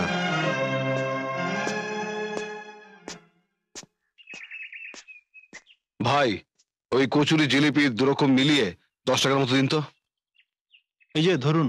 হ্যাঁ এই যে টাকা। নাও ধরো। হ্যাঁ। এসো। কীভাবে সংসারটা চলবে বলো তো? আর একবার চৌধুরী মশাইয়ের কাছে গিয়ে দেখি।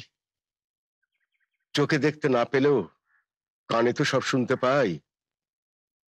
এইভাবে চলতে দিতে পারা যায় না। দাদু ঠাম্মা এই দেখো আমি তোমাদের জন্য খাবার এনেছি। দুদিন ভালো করে খাওনি তো সেই জন্য বেশি বেশি করে কচুরি আর জিলিপি এনেছি। একটু পরে গিয়ে চাল ডাল সব নিয়ে আসব। কোথা থেকে আনলি ভাই? খুনে দাদা কিনে দিয়েছে। খাওয়াচ্ছি দাঁড়া। বৌমা! লক্ষ্মী ছাড়া ছেলে? বাজি কেন? কেন তুই খাবার এনেছিস? হ্যাঁ? বল বল হতভাঙা ছেলে। কেন কেন লোকের কাছ থেকে খাবার চাইবি লক্ষ্মী ছাড়া হতভাঙা ছেলে? যে তোর বাপকে খুব মারছি তার থেকে হাত পেতে খাবার চাওয়া? লজ্জা করে না তোর কোনদিন চাইবি কারণ থেকে বল বল কেন চেয়েছিস কেন চেয়েছিস বল তুই? শিগগিরই বল চেয়েছিস ছেড়ে দাও। আর কারও তো সিঁথি সিঁদুর মুছে যায়নি। তাই সবাই আমার কষ্টটা বুঝতে পারছে না।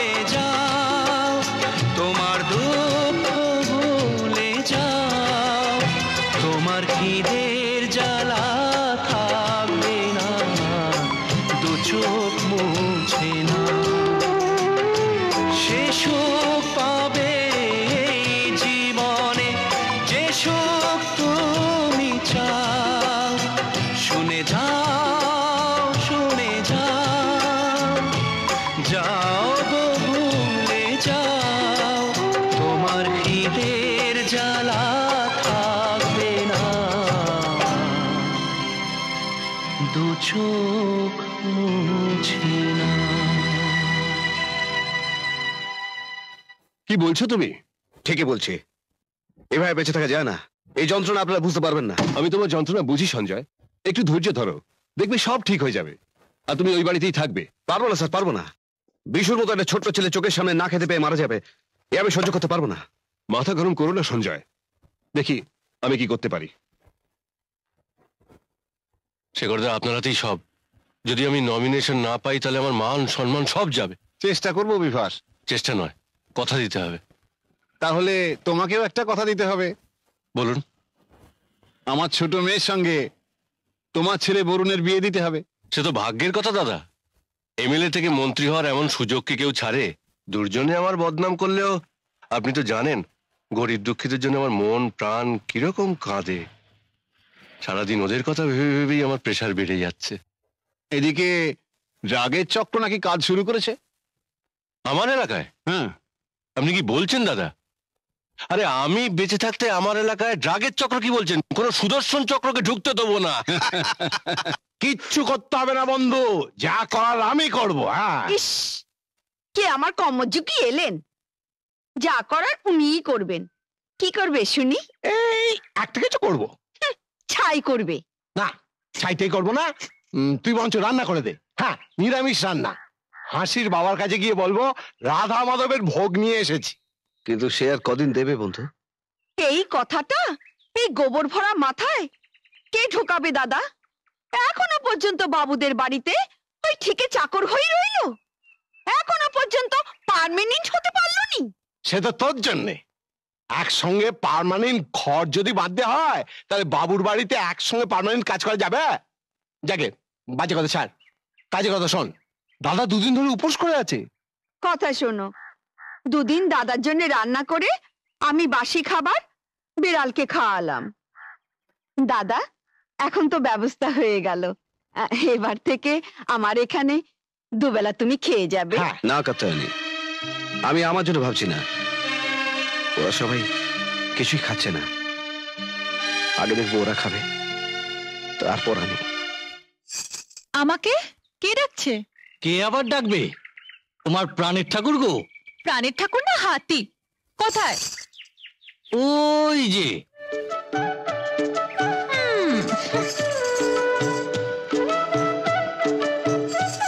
কি?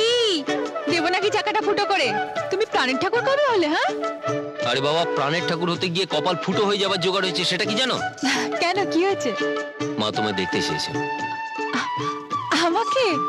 কেন? ছেলের বউ হবে। কেমন মেয়ে হবে একবার দেখবেন না? চলো মা তোমার জন্য অপেক্ষা করছে। ইস আমি এমনি এমনি পায়ে হেঁটে যাব নাকি? তাহলে কি পালকি চড়ে যাবে নাকি? ওসব পালকি ফালকি আমি জানি না। আমাকে গাড়ি করে নিয়ে যেতে হবে ব্যাস। হ্যাঁ, ঠিক আছে। কিন্তু শুধু গেট পর্যন্ত তারপর কিন্তু আমি আর নেই হ্যাঁ? ঠিক আছে চলো। আমার পিসি ওই গাড়িতে করে গেল না? তোমার পিসি? না তো? যদ্দূর জানি ছোট বাবু তার বউকে নিয়ে চলে গেল।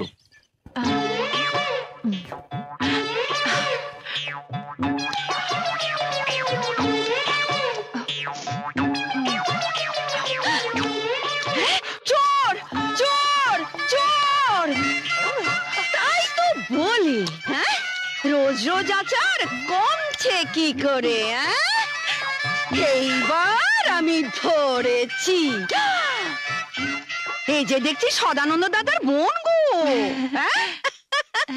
তা তুমি আচার চুরি করতে গেলে কেন? আমার কাছে চাইলেই তো তুমি পেতে। চাইব সময় পেলাম কোথায়? আচ্ছা দেখলি খেতে ইচ্ছে করে না। কি ভালো। কাত্তায়নী কার সঙ্গে কথা বলছিস রে?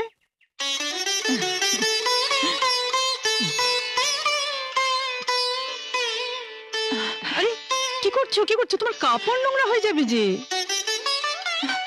থাক থাক মা। এ মা আপনার হাতটা যে একেবারে নোংরা হয়ে গেল। কি করব বলো? ছেলের বউ যদি এরকম দোষী হয় তাহলে তো আমার হাত একটু নোংরা হবেই। দেখি।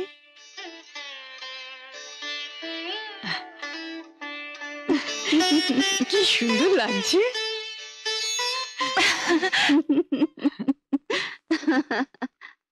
কি রে তুই এরকম হাঁ হয়ে গেলি কেন?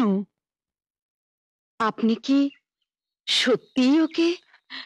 বারে আমার বরুণ ওকে পছন্দ করেছে। আমি কি না বলতে পারি? তাছাড়া আমারও খুব পছন্দ হয়েছে। ভারী সুন্দর মেয়ে।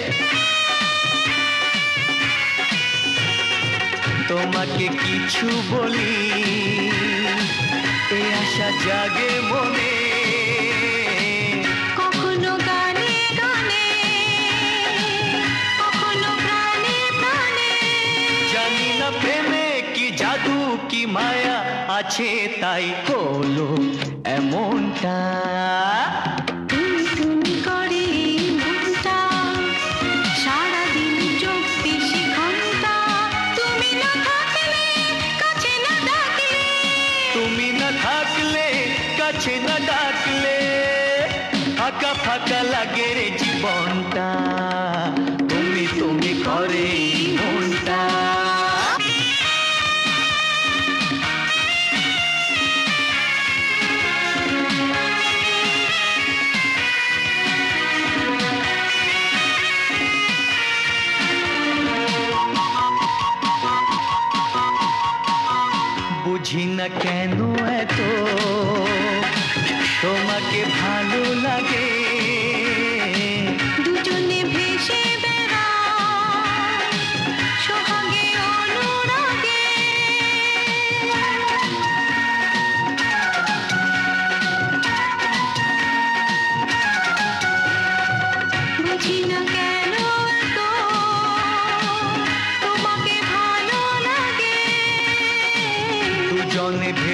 ভেসে বেড়াই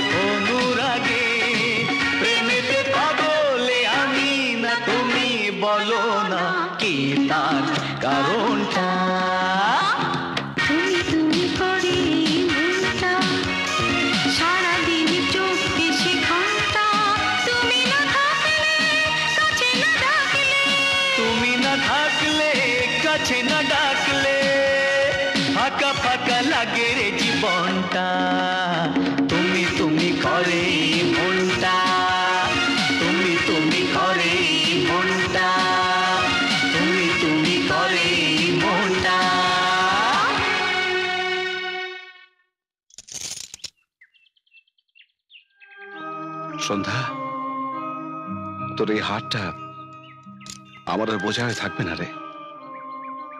আমি আবার তোকে খুঁজে পেয়েছি। সঞ্জয় দা সঞ্জয় দা তাড়াতাড়ি মাঠে যাও। অক্ষয় করে হাল বলদ দিয়ে মাঠে নেমে গেছে। সে কি? বিভাজন গুন্ডা সব কেড়ে করে নিয়ে চলে যাচ্ছে। যত। হালটা একটু জুত করে বেঁধে দিচ্ছি বাবা। দিচ্ছি তো।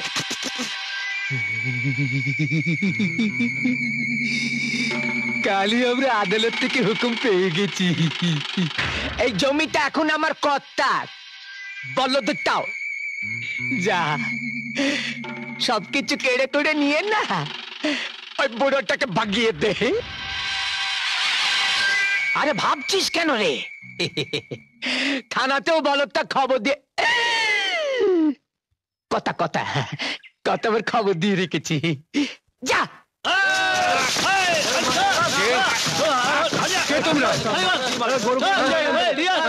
বাবা, বাবা অন্ধ মানুষ বাবা তোমরা দয়া করো বা ছেড়ে দে ছেড়ে দে ছেড়ে দে বাবা ঘরে সবাই উপোস করে মরবে। অন্ধ মানুষটাকে ছেড়ে দে। হ্যাঁ, তোকে ঠিক লোকের কাছে ঠেলে দিয়েছি। তোর ছেলেকে খুন করেছিল এবার তোদের মারবে। তার আগে তোদের মেরে শক্তি পরীক্ষাটা করে নি। খুনিটা হাজির হয়েছে। এবার একটা খুনো খুনো শুরু হবে। চলো আমরা পালাই।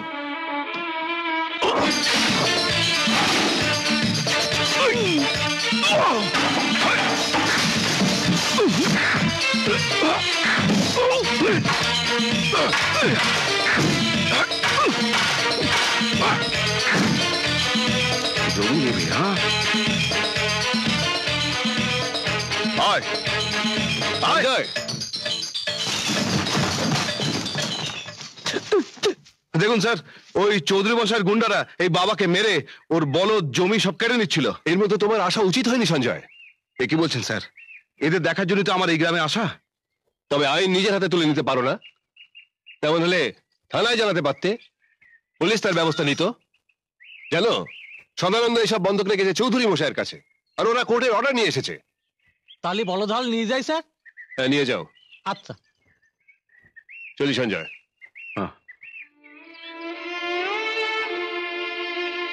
এই ভাই আপনারা কেউ আসুন না। বাবাকে বাড়িতে নিয়ে যান। আচ্ছা।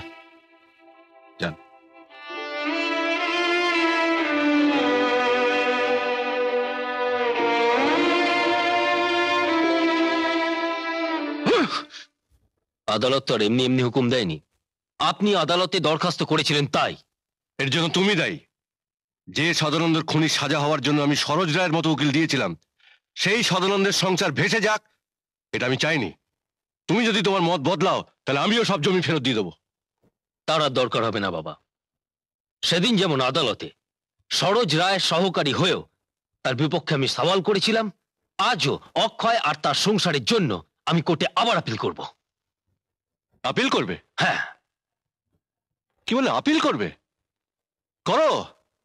তবে এও শুনে রাখো, ওই আপিলের শুনানি হতে না হতেই অক্ষয়রা না খেয়ে মরবে। লোকের দরে দরে ভিক্ষে করে খেতে হবে, অবশ্য যদি ভিক্ষে পায়। দেখা যাবে।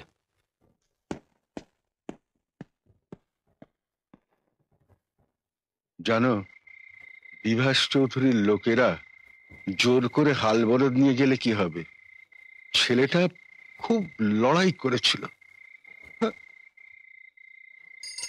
জানো আমাকে না আমাকে বাবা বলে ডাকলো। কি? কি বললে? তোমাকে বাবা বলে ডাকছিল? হ্যাঁ বাবা। আমি তো অন্ধ চোখে দেখতে পাই না। ওর মুখটা ভালো করে দেখতে পাইনি। কেমন যেন মনে হচ্ছিল আমার আমার সদাই আমাকে ডাকছে। সঞ্জয় বড় ভালো ছেলে গো বড় ভালো ছেলে।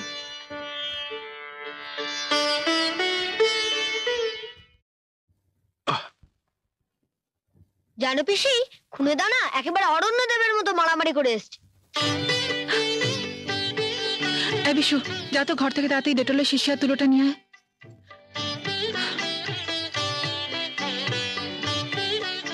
মুখটা দেখি। কি হবে? আপনার মুন্ডু হবে। দেখছেন না কীভাবে কেটে গেছে? ওষুধ লাগাবো। দে তো।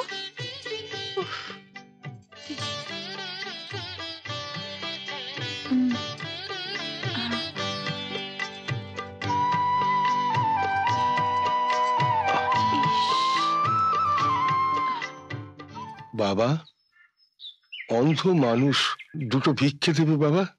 নাতিটা না খেয়ে আছে বাবা। দুটো ভিক্ষে দাও না। ছি এ কি করছেন বাবা? আপনারা ভিক্ষে করছেন? এছাড়া আর কি করব সবই তো জানো জানি। আমি সব জানি। দয়া করে আর পাপের বোঝা আমার মাথায় চাপাবেন না। বাড়ি যান। আমি যে করি হোক। একটা ব্যবস্থা করবই।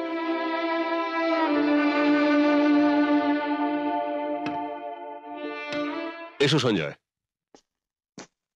কি খবর বলো? স্যার, আপনি আমায় জেলে আটকে রাখুন। আপনি আমায় ফাঁসি দিন। কিন্তু যে শাস্তি আপনি আমায় দিয়েছেন, তার আমি সহ্য করতে পারছি না। কি হয়েছে? আমাকে খুলে বলো। স্যার স্যার, এই অন্ধবৃদ্ধ মানুষটা সারাদিন ঠায় রোদে দাঁড়িয়ে ভিক্ষে করছে। ছোট ছেলে বিশু খিদে জ্বালা ছটফট করছে, কাঁদছে। আমি খাবার নিয়ে গেলাম। ওর মা ছুঁড়ে ফেলে দিল। ছেলেকে ধরে ভীষণ মারলো। আমার চোখের সামনে কিছু বলতে পারলাম না। আমার কোনো সাহায্য নেবে না স্যার। ওরা কেউ আমাকে সহ্য করতে পারছে না। কিন্তু এসপি সাহেবের অর্ডার তোমাকে তো মানতেই হবে সঞ্জয়। আদালতের রায়। স্যার আদালতের রায় থেকে অনেক বড় হলো মানুষের মন। আর সেই মন থেকে যদি ওরা আমাকে গ্রহণ করতে না পারে তাহলে কি হবে আমার ওখানে থেকে? তোমার কষ্টটা আমি বুঝি সঞ্জয়।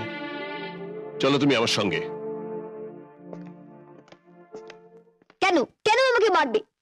খাইনি খিদে পায় না বুঝি? আমি যাব। খুনে দাদাকে বললেই খাবার কিনে দেবে। বিশু কিনে দিলে আবার ফেলে দেবো। কেন জেদ করছ বৌমা? এইভাবে তো কেউ বাঁচতে পারে না। তাই বলে ওই লোকটার কাছ থেকে হাত পেতে দয়া নিতে হবে? বাবা মা তো ভিক্ষেই করছিল। সেটাও তো দয়ারই দান। ও তাই জন্যে দাদা বাবু দুদিন খেতে আসছে না। হুম। হ্যাঁ খুনে দাদার খুব বুদ্ধি। কেমন বুদ্ধি করে সবার খাবার বন্দোবস্ত করে দিয়েছে? তাই না পিসি? হ্যাঁ জানো তো ওনা সাইকেল ভ্যান চালিয়ে টাকা রোজগার করছে। হ্যাঁ? আলুর দামটা বেড়ে গেছে। বাজারে এখন নতুন আলু আসছে না তো? আসছে না তো? হ্যাঁ এই জন্য দামটা তো বাড়বেই বাড়বে? তো। আর যত দাম বাড়বে তত তো বাজারে তো পাওয়া যাবে না। হ্যাঁ এটাই হচ্ছে অসুবিধা। আমি আমি তো বারবার বললাম। ব্যাস বিশু এইখানেই।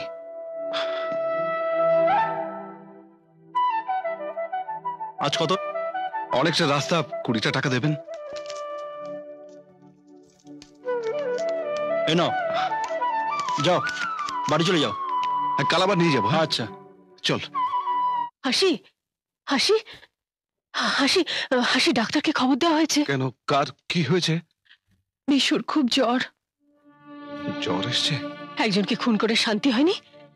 এবার ছেলেটাকেও খুন করবে। সারাদিন বৃষ্টিতে ভিজিয়ে।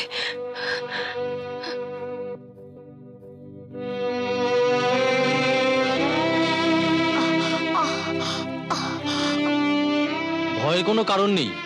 কাল সকালেই জ্বরটা নেমে যাবে। একটা ইঞ্জেকশন দিয়ে গেলাম।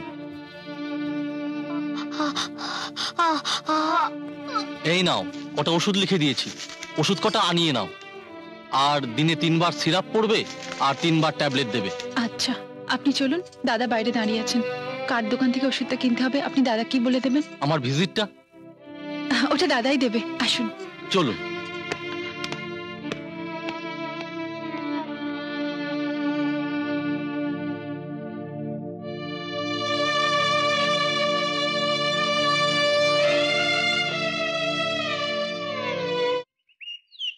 আপনার বোন ঠিক আমার মতো দেখতে ছিল? তোমার কথা বলার ধরনটা ঠিক আমার বোন সন্ধ্যার মতো। জানো, সন্ধ্যা আমার কাছে জীবনে একটাই আবদার করেছিল। কিন্তু আমি ওর সেই আশাটা পূরণ করতে পারিনি। তার আগেই বাধবাগি পালিয়ে গেল।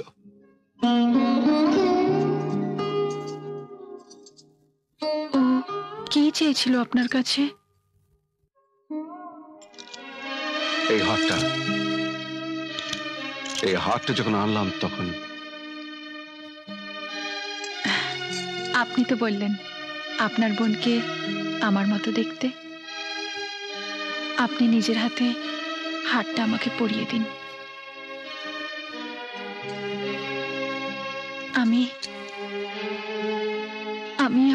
সন্ধ্যা হয়ে যাব। সত্যি? হ্যাঁ। পরিয়ে দিন। তুমি পড়বে এই হার? হাসি? আজ আমি ভীষণ খুশি। ভীষণ খুশি আমি। আসলে বিশ্বাস করো আমি তোমার দাদাকে খুন করেছিলাম কিন্তু কিন্তু ইচ্ছে করে নয়। আমি বিশ্বাস করছি দাদা। নইলে কি আমি তোমাকে দাদার আসনে বসাতে পারতাম। হ্যাঁ রে বোন। দাদা। এত দূর? দুধ কলা দিয়ে আমি কল সাপেনে গায়ে রেখেছি। ঠিক আছে। দেখ এতদিন পরে তাহলে হাসি তোমার বোন হলো। তোমার ছোট বোনের দুঃখ তাহলে ভুলতে পারলে। আরে এক করে হ্যাঁ। হাসির মধ্যে আমি আমার সন্ধ্যাকে খুঁজে পেয়েছি। তাহলে এবার আমাদের বরুণ দাদা বাবুকে ভগ্নিপতি করে নাও। হ্যাঁ দুজন যখন দুজনকে ভালোবাসে তুমি বরঞ্চ দাঁড়িয়ে থেকে ওদের বিয়েটা দিয়ে দাও। ঠিকই বলেছ। ও আর একটা কথা আমাদের দুজনের বিয়েটা তুমি দিয়ে দিও। কি রে? পানটা দেবে? কালীনাথ এ শালা তো দেখছি আমার সর্বনাশ করে দিল। কোথায় ভেবেছিলাম পেটের জ্বালায় ছটফট করতে করতে সদার বউটা আমার কাছেই আসবে? তা নয়। হুকুম করুন না কর্তা। সাইকেল ভ্যান চালিয়ে সদার মতো ওটাকেও গাড়ির নিচে একেবারে পুষে দি দেওয়ালেরও কান আছে। তারপরে বরুণ আমার চাষার বোনটাকে বিয়ে করতে চাইছে। কথা কর্তা এই কানাটা আবার কি চাইতেল কিছু বলবে অক্ষয়? হ্যাঁ কর্তা। আমার মেয়ের কথা বলছিলাম। আপনার ছেলের খুব ইচ্ছে আমার মেয়েকে বউ করে ঘরে তোলে তোমার সাহস তো কম নয়। বামন হয়ে চাঁদে হাত দেওয়ার স্বপ্ন দেখছ? কেন ঘরে তো একটা খুনে বসছো? তাকেই জামাই করে নাও না। কি বলছেন কর্তা? কালী। বুঝেছি কর্তা। অক্ষয় বরুণ যদি তোমার মেয়েকে বিয়ে করতে যায় তুমি তো মরবেই তোমার বংশ শেষ করে দেবো। কালী। ওর লাঠি দিয়ে ওকে গুনে গুনে দশগা পেটাও।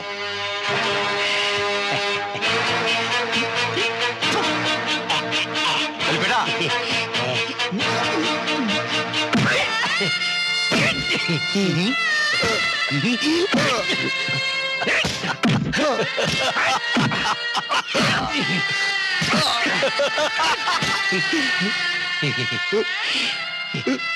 লাগেনি তো? না। যা।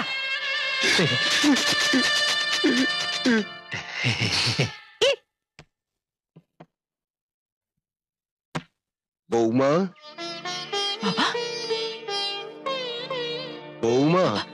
বাবা কি হয়েছে বাবা? কি হয়েছে? কি হয়েছে? কিচ্ছু হয়নি মা কিচ্ছু হয়নি। বিয়ের ব্যাপারে কথা হয়নি? ওরা ওরা আমাদের মতো চাষার ঘরের মেয়েকে কি স্বীকার করে মা? কত কত নোংরা নোংরা কথা বলে অপমান করল। কি? কি বলেছে বাবা? বলুন। চুপ করে থাকবেন না বলুন কি বলেছে? বলল বলল পাত্র তো ঘরেই পুষছ তার সঙ্গে কেন মেয়ের বিয়ে দিচ্ছ না? আরও আরও কত নোংরা নোংরা কথা বলল। থাক ওসব কথা এখন থাক বাবা। আসুন।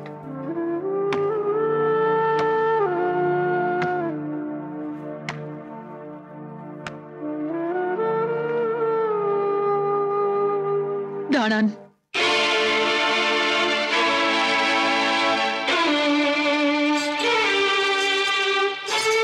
এটা ফেরত নিয়ে যান।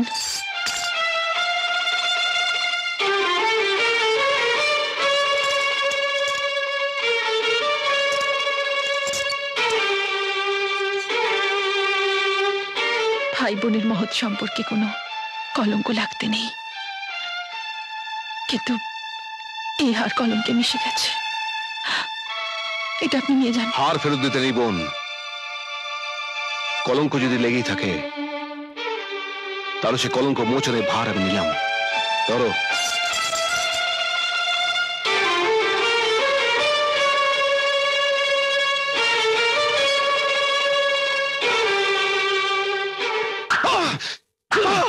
বিশ্বাসঘাতক আমার কথা শুনুন। আমার কথা শুনুন। আমি তোমার কথা শুনব না। তোমাকে দয়া করে আমি এখানে এনেছিলাম। কোর্টে সওয়াল করে আমি তোমায় বাঁচিয়েছিলাম এই জন্য। আমাকে চাবুক মারার আগে দয়া করে আমার একটা কথা শুনুন। হাসি নির্দোষ ওকে আপনি ফিরিয়ে দেবেন না? পোকায় খাওয়া বেলপাতা দিয়ে কখনো শিবের পুজো হয় না। আমার একটা ভুলের জন্য ওই অন্ধ মানুষটার অবলম্বন একমাত্র ছেলেটা অকালে চলে গেল। আর আমারই ভুলের জন্য একটা নিষ্পাপ মেয়ের জীবন নষ্ট হয়ে যাবে এটাই কি আপনি চান? আমি আর এখন কিচ্ছু চাই না। এই মুহূর্ত থেকে আমি তোমার মুখও দেখতে চাই না। Now will you go? Get out! বেরিয়ে যাও! বেরিয়ে যাও এখান থেকে! মা! শুনুন। মা! মা! কিরে কি হয়েছে? বাবাকে বলে দাও। শেখর বাবুর ছোট মেয়েকে আমি বিয়ে করব। দাদু? কি ভাই? জানো খুনে দাদাকে কোথাও খুঁজে পাচ্ছি না। হ্যাঁ? দুদিন না খেয়ে কোথায় যে ঘুরে ঘুরে বেড়াচ্ছে? বলতো ভাই। আমি কি জানি? দেখা হলে তো যখনই দেখি লরি চালিয়ে যাচ্ছে। খুনে দাদার কথা বলবারই সময় হয় না।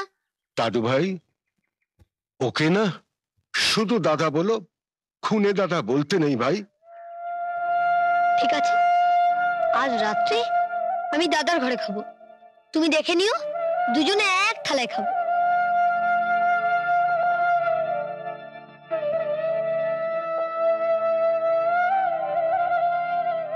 দাদা আজ আমি তোমার সঙ্গে খাব। আমার খিদে নেই রে ভাই। তুমি খেয়ে নাও। খিদে নেই কেন?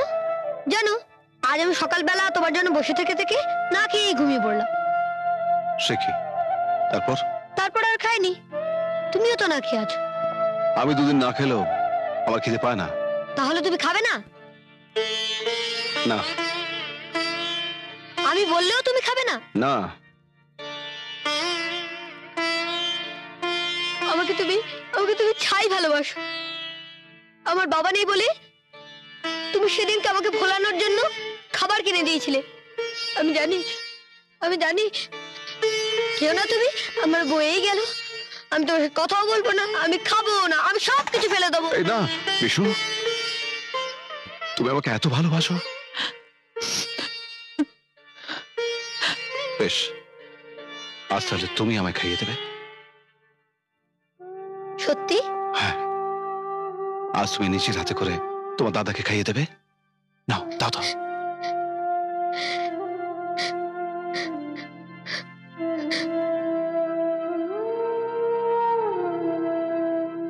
আহ। হাসি কোথায়? কে? হাসি? আমি এক করি। এক করি? আগে হ্যাঁ। হাসিকে খুঁজছো কেন? একটা খবর দিতে এলাম। আমাদের ছোট কর্তা সে কর্তা সে মেয়েকে বিয়ে করবে বলে পাকা কথা দিয়েছে। হ্যাঁ? কি? কি বলছো? এসব? হ্যাঁ আজই পাকাটাকে সেরে নিচ্ছে।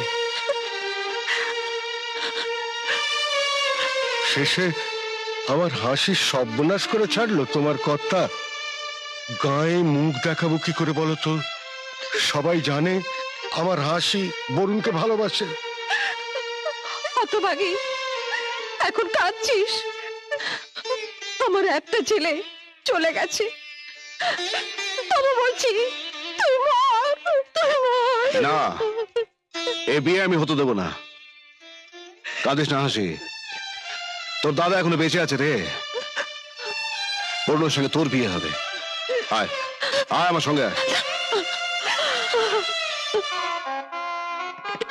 এবার তাহলে আশীর্বাদ করুন। কন্যার পিতা প্রথমে আশীর্বাদ করবেন।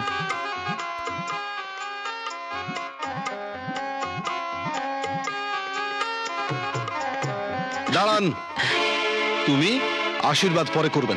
ওর কথা ছেড়ে দাও তো সে কথা ও একটা খুনে আসামি। কপাল জোরে খালাস পেয়েছি তাই তো? এখানে কি চাই? সেদিনের চাবুক খেয়েও তোমার শিক্ষা হয়নি? না হয়নি। ছোট বোনদের জন্য দাদাদের অনেক চাবুক খেতে হয়। তাই বলে ভয়ে দাদার কি পালিয়ে যায়? আচ্ছা শোনো বলুন হাসি নাকি এই খুনেটা ছোট বোন? আপনাদের সন্দেহ আছে নাকি? অবশ্য জানি না। আপনারা আপনাদের নোংরা চোখ দিয়ে ছোট বোনকে দেখেন কিনা।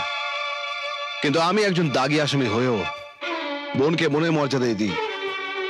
তাই জন্য কি সেদিন চুপি চুপি বোনের গলায় হাড় পরিয়ে দিয়ে তাকে আদর করা হচ্ছিল?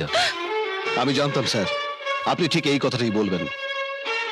কারণ তাছাড়া হাসিকে সন্দেহ করার মতো আর কোনো কারণ তো থাকতে পারে না। আমি সেদিন আপনার কাছে এসেছিলাম, আপনার এই ভুল ধারণাটা ভাঙবো বলে। আপনি শোনেননি। স্যার, ওই ওই হারটা আমি আমার নিজের বোন সন্ধ্যার জন্য কিনেছিলাম। কিন্তু কিনে আনার পর তাকে আর পড়াতে পারিনি। কারণ তখন সে পৃথিবীর মায়া কাটিয়ে পালিয়ে গেছিল অনেক দূরে। এই মেয়েটা, এই হাসি এই আমার সব কথা শুনে আমার সেই হারিয়ে যাওয়া সন্ধ্যা হতে চেয়েছে। আমার সেই হারিয়ে যাওয়া বোন, স্যার। আমার ভালোবাসার পাত্রী কে? সেটা অন্তত আপনি ভালো করে জানেন, স্যার। স্যার, আমি সারা জীবন আপনার গোলাম হয়ে থাকব। আপনি দয়া করে আমার ফিরে পাওয়া বোনটাকে পায়ে ঠেলে দেবেন না। ভালোবাসা পেয়ে হারানোর কষ্ট কি? সেটা আপনি জানেন না। কিন্তু আমি জানি।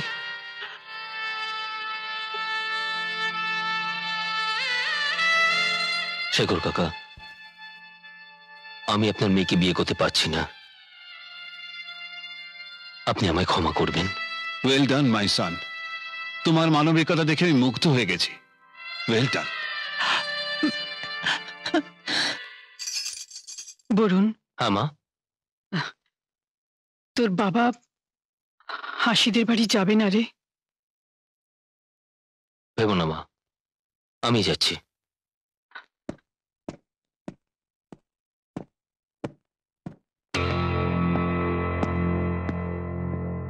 আরে বরুণ ওখানে পৌঁছানোর আগেই বৌদি আর ননদকে আমার গোডাউনে তুলে নিয়ে আয়। আপনি চিন্তা করবেন না কথা আমি দুটো পাখিকে তুলে এলে আপনার খাঁচার মধ্যে বন্দি করে দেব। আসি কথা কাঁদিস না বিশু। তোর পিসির যে লুকিয়ে বিয়ে হচ্ছে বাবা বিয়েটা হয়ে গেলেই ওরা এখানে আসবে। শুক্লপক্ষে যদিদং হৃদয়ং তব যদিদং হৃদয়ং তব তদস্তু হৃদয়ং মম। এই নিন করিয়ে দিন।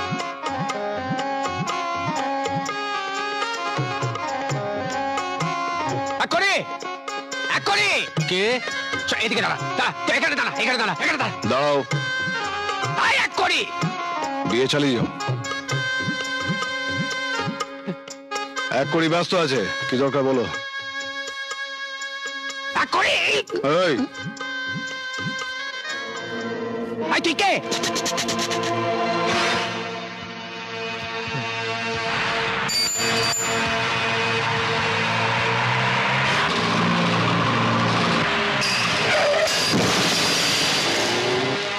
আসল খুনিকে পেয়ে গেছি।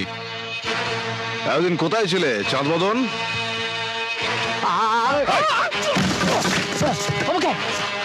আমাকে তুই মারলি?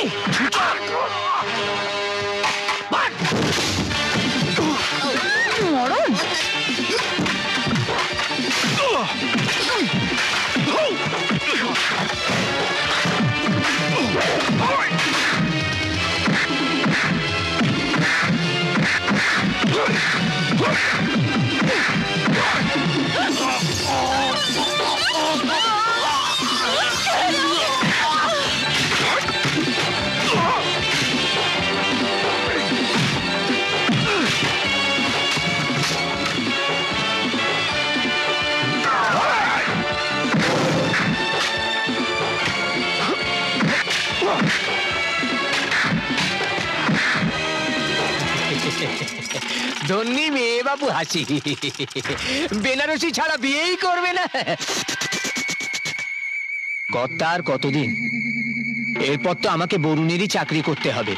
তাই কর্তাকে লুকিয়ে আমি বিয়ের সব বন্দোবস্ত করে এক কড়িকে পাঠিয়েছিলাম ওকে নিয়ে যেতে। তা তখন কি চাই? জানি যে মেয়ের আমার বেনারসি চাই। যাও বৌমা যাও। আর দেরি করো না যাও। চলো। চলো। আস। জয় মা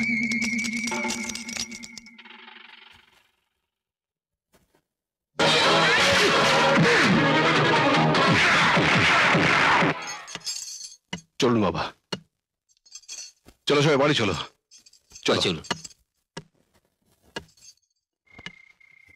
এই দেখুন কাদের এনেছি? মেয়ে জামাইকে। আশীর্বাদ করুন। বাবা সঞ্জয় আমার সদানন্দ বেঁচে থাকলে এর চেয়ে বেশি কিছু করতে পারতো না। আশীর্বাদ করি বাবা তুমি তুমি সুখী হও। মা বৌদিকে দেখতে পাচ্ছি না তো। বৌদি কোথায়? বৌদি কোথায় মা? কালীনাথ এসেছিল। তোর বৌদি বেনারসি নিয়ে ওর সঙ্গে গেল।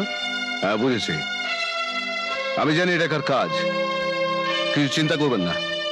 আমি এখনই বৌদিকে নিয়ে আসছি। এসো আমার সঙ্গে।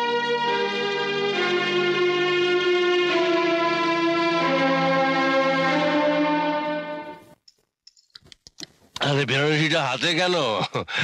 পড়ে না হাসি কোথায়? মাসির তো বিয়ে হয়ে গেছে।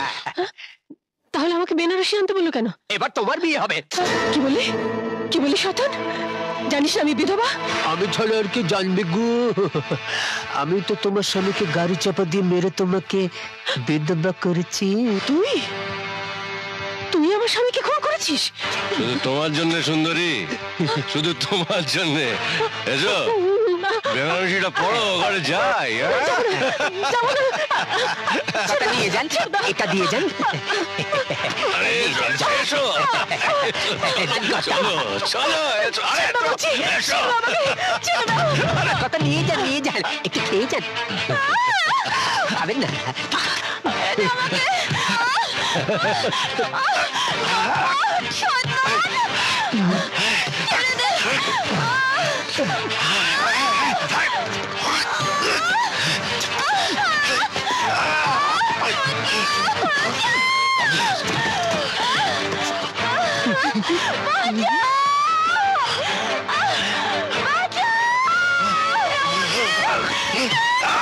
ওই আসো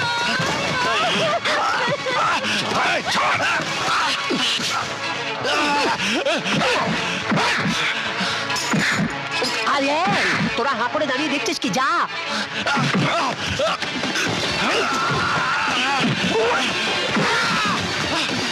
যাই সব কটাকে বেঁধে ফেল। আসুন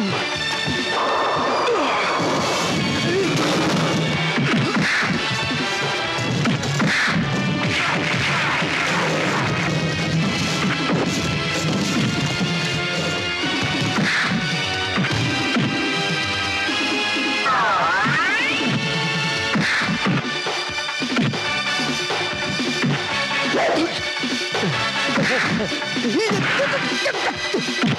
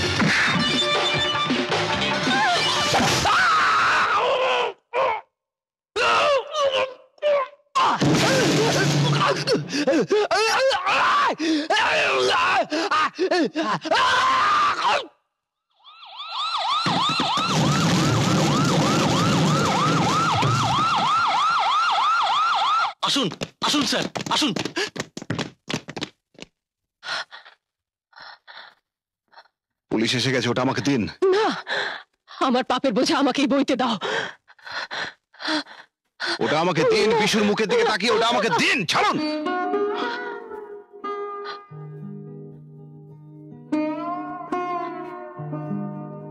হুজুর?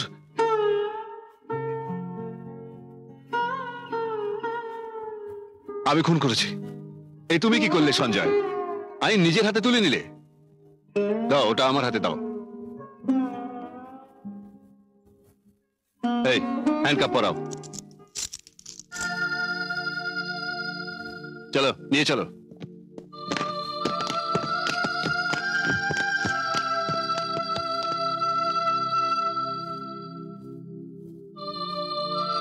ও মিথ্যে কথা বলছে ধর্মাবতার। কালীনাথকে আমি খুন করেছি। না হুজুর খুনটা আমি করেছি। ধর্মাবতার মহামান্য আদালতে দাঁড়িয়ে কেচ্ছার কথা বলাটা শোভন নয়। তবু বলতে বাধ্য হচ্ছি। যে দীর্ঘ ছ মাস আগে সঞ্জয় মিত্রের যে অপরাধের বিচার এই আদালতে হয়েছিল, তার কার্যকরণ কিন্তু এখনও অন্ধকারে ঢাকায়। ইয়র অনার আসামি সঞ্জয় মিত্রের সঙ্গে এই মহিলার অবৈধ সম্পর্ক ছিল, যে কারণে পথের কাঁটা সদানন্দকে সরে যেতে হয়েছিল।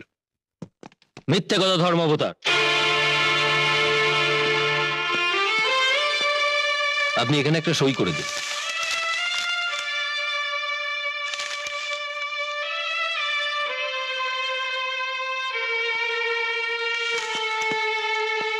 হুজুর, আসামির পক্ষে সওয়াল করবার জন্য আমি আমার ওকালতনামা পেশ করছি।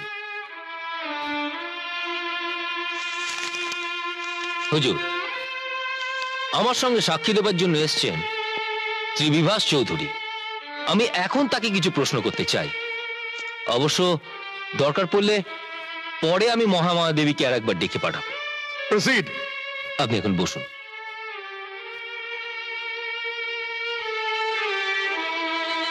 আপনি আসুন।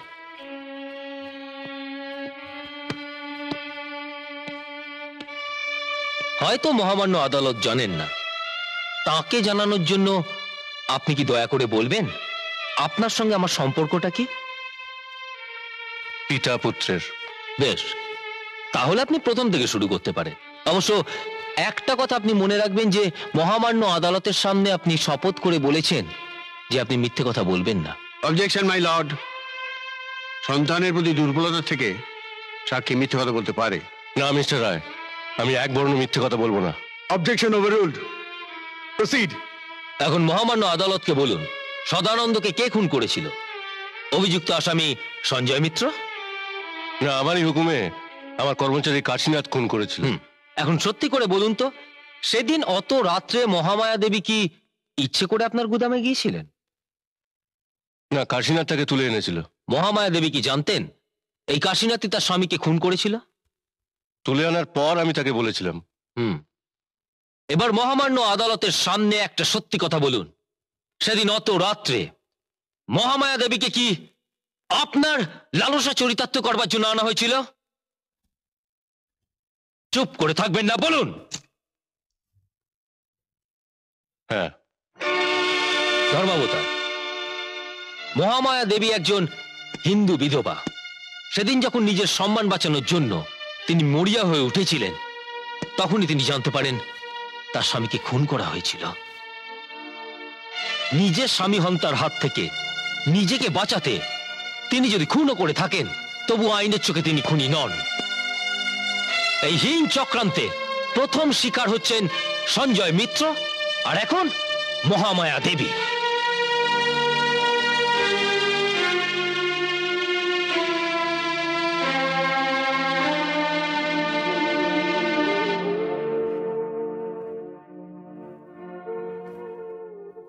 জুরিদের সঙ্গে একমত হয়ে আমি বিভাস চৌধুরীকে এই চক্রের নায়ক হিসাবে দোষী সাব্যস্ত করে যাবজ্জীবন সশ্রম কারাদণ্ডে দণ্ডিত করছি। সঞ্জয় মিত্র এবং মহামায়া দেবীকে আমি বেকসুর খালাস বলে ঘোষণা করলাম।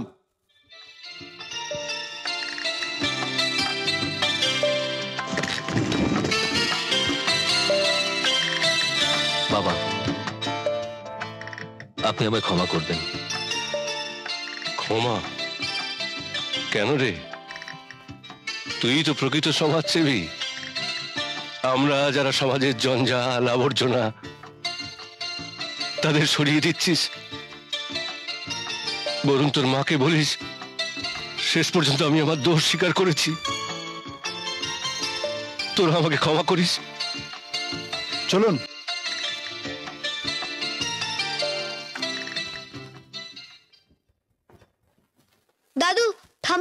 যেন খুনে দাদা আমাদের ছেড়ে চলে যাচ্ছে। সে কি? কেন? চলে যাবে কেন? চল তো দেখি। এসো তো। মিতা মানুষের জীবনে সাফল্য সবসময় আসে না। সেটা তুমিও জানো আমিও জানি। তোমাকে সান্ত্বনা দেবার যথেষ্ট ভাষা আমার নেই। সান্ত্বনা দেবার দরকার নেই। তোমার ত্যাগই যে আমায় পথ দেখিয়েছে তাই আমি সবকিছু ত্যাগ করে তীর্থে চলে যাচ্ছি। মিতা যাবার আগে দেবতাকে প্রণাম করতে হয় তার আশীর্বাদ নিতে হয়।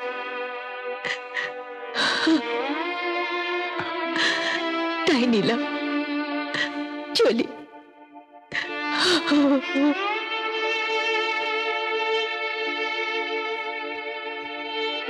সঞ্জয় তুমিও চলে যাচ্ছ বাবা। বাবা আমার কর্তব্য তো শেষ হয়ে গেছে। মা বাবার প্রতি সন্তানের কর্তব্যের কি শেষ আছে বাবা? একজন তো ফাঁকে দিয়ে চলে গেছে। শেষে তুমিও চলে যাবে বাবা। মা আমার ভাগ্যই এমন। আমি যাদের আপন করে নিতে চাই তারা সবাই পর হয়ে যায়। বিশু বিশু তো দাদাকে দাঁড়াতে বল।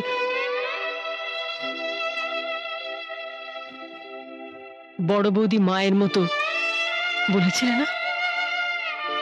মা যদি ভুল করে ভুল বোঝে ছেলে কি মায়ের উপর অভিমান করে চলে যায়? যাও না যাও। দেখি তোমার কত ক্ষমতা। আমি তোমাকে একটা প্রণাম করব। থাক থাক। খুনে দাদা? বলো তুমি যাবে না? আমাদের ছেড়ে যাবে না? কখনো যাবে না? আমাকে ছেড়ে কখনো যাবে না? বলো। তোদের সবাইকে ছেড়ে আমি কি যেতে পারি? বল আমি কি যেতে পারি? মা মা খুনে দাদা বলেছে যাবে না। ছি বাবা খুনে দাদা বল না। আচ্ছা। শুধু দাদা বর্দা। আমি একটা প্রণাম করব। বিয়ের পর সেই সময়টা অত দিচ্ছিলে না। ভালো করে আশীর্বাদ করো তো, তোমার বোন সন্ধ্যাকে। দাদা।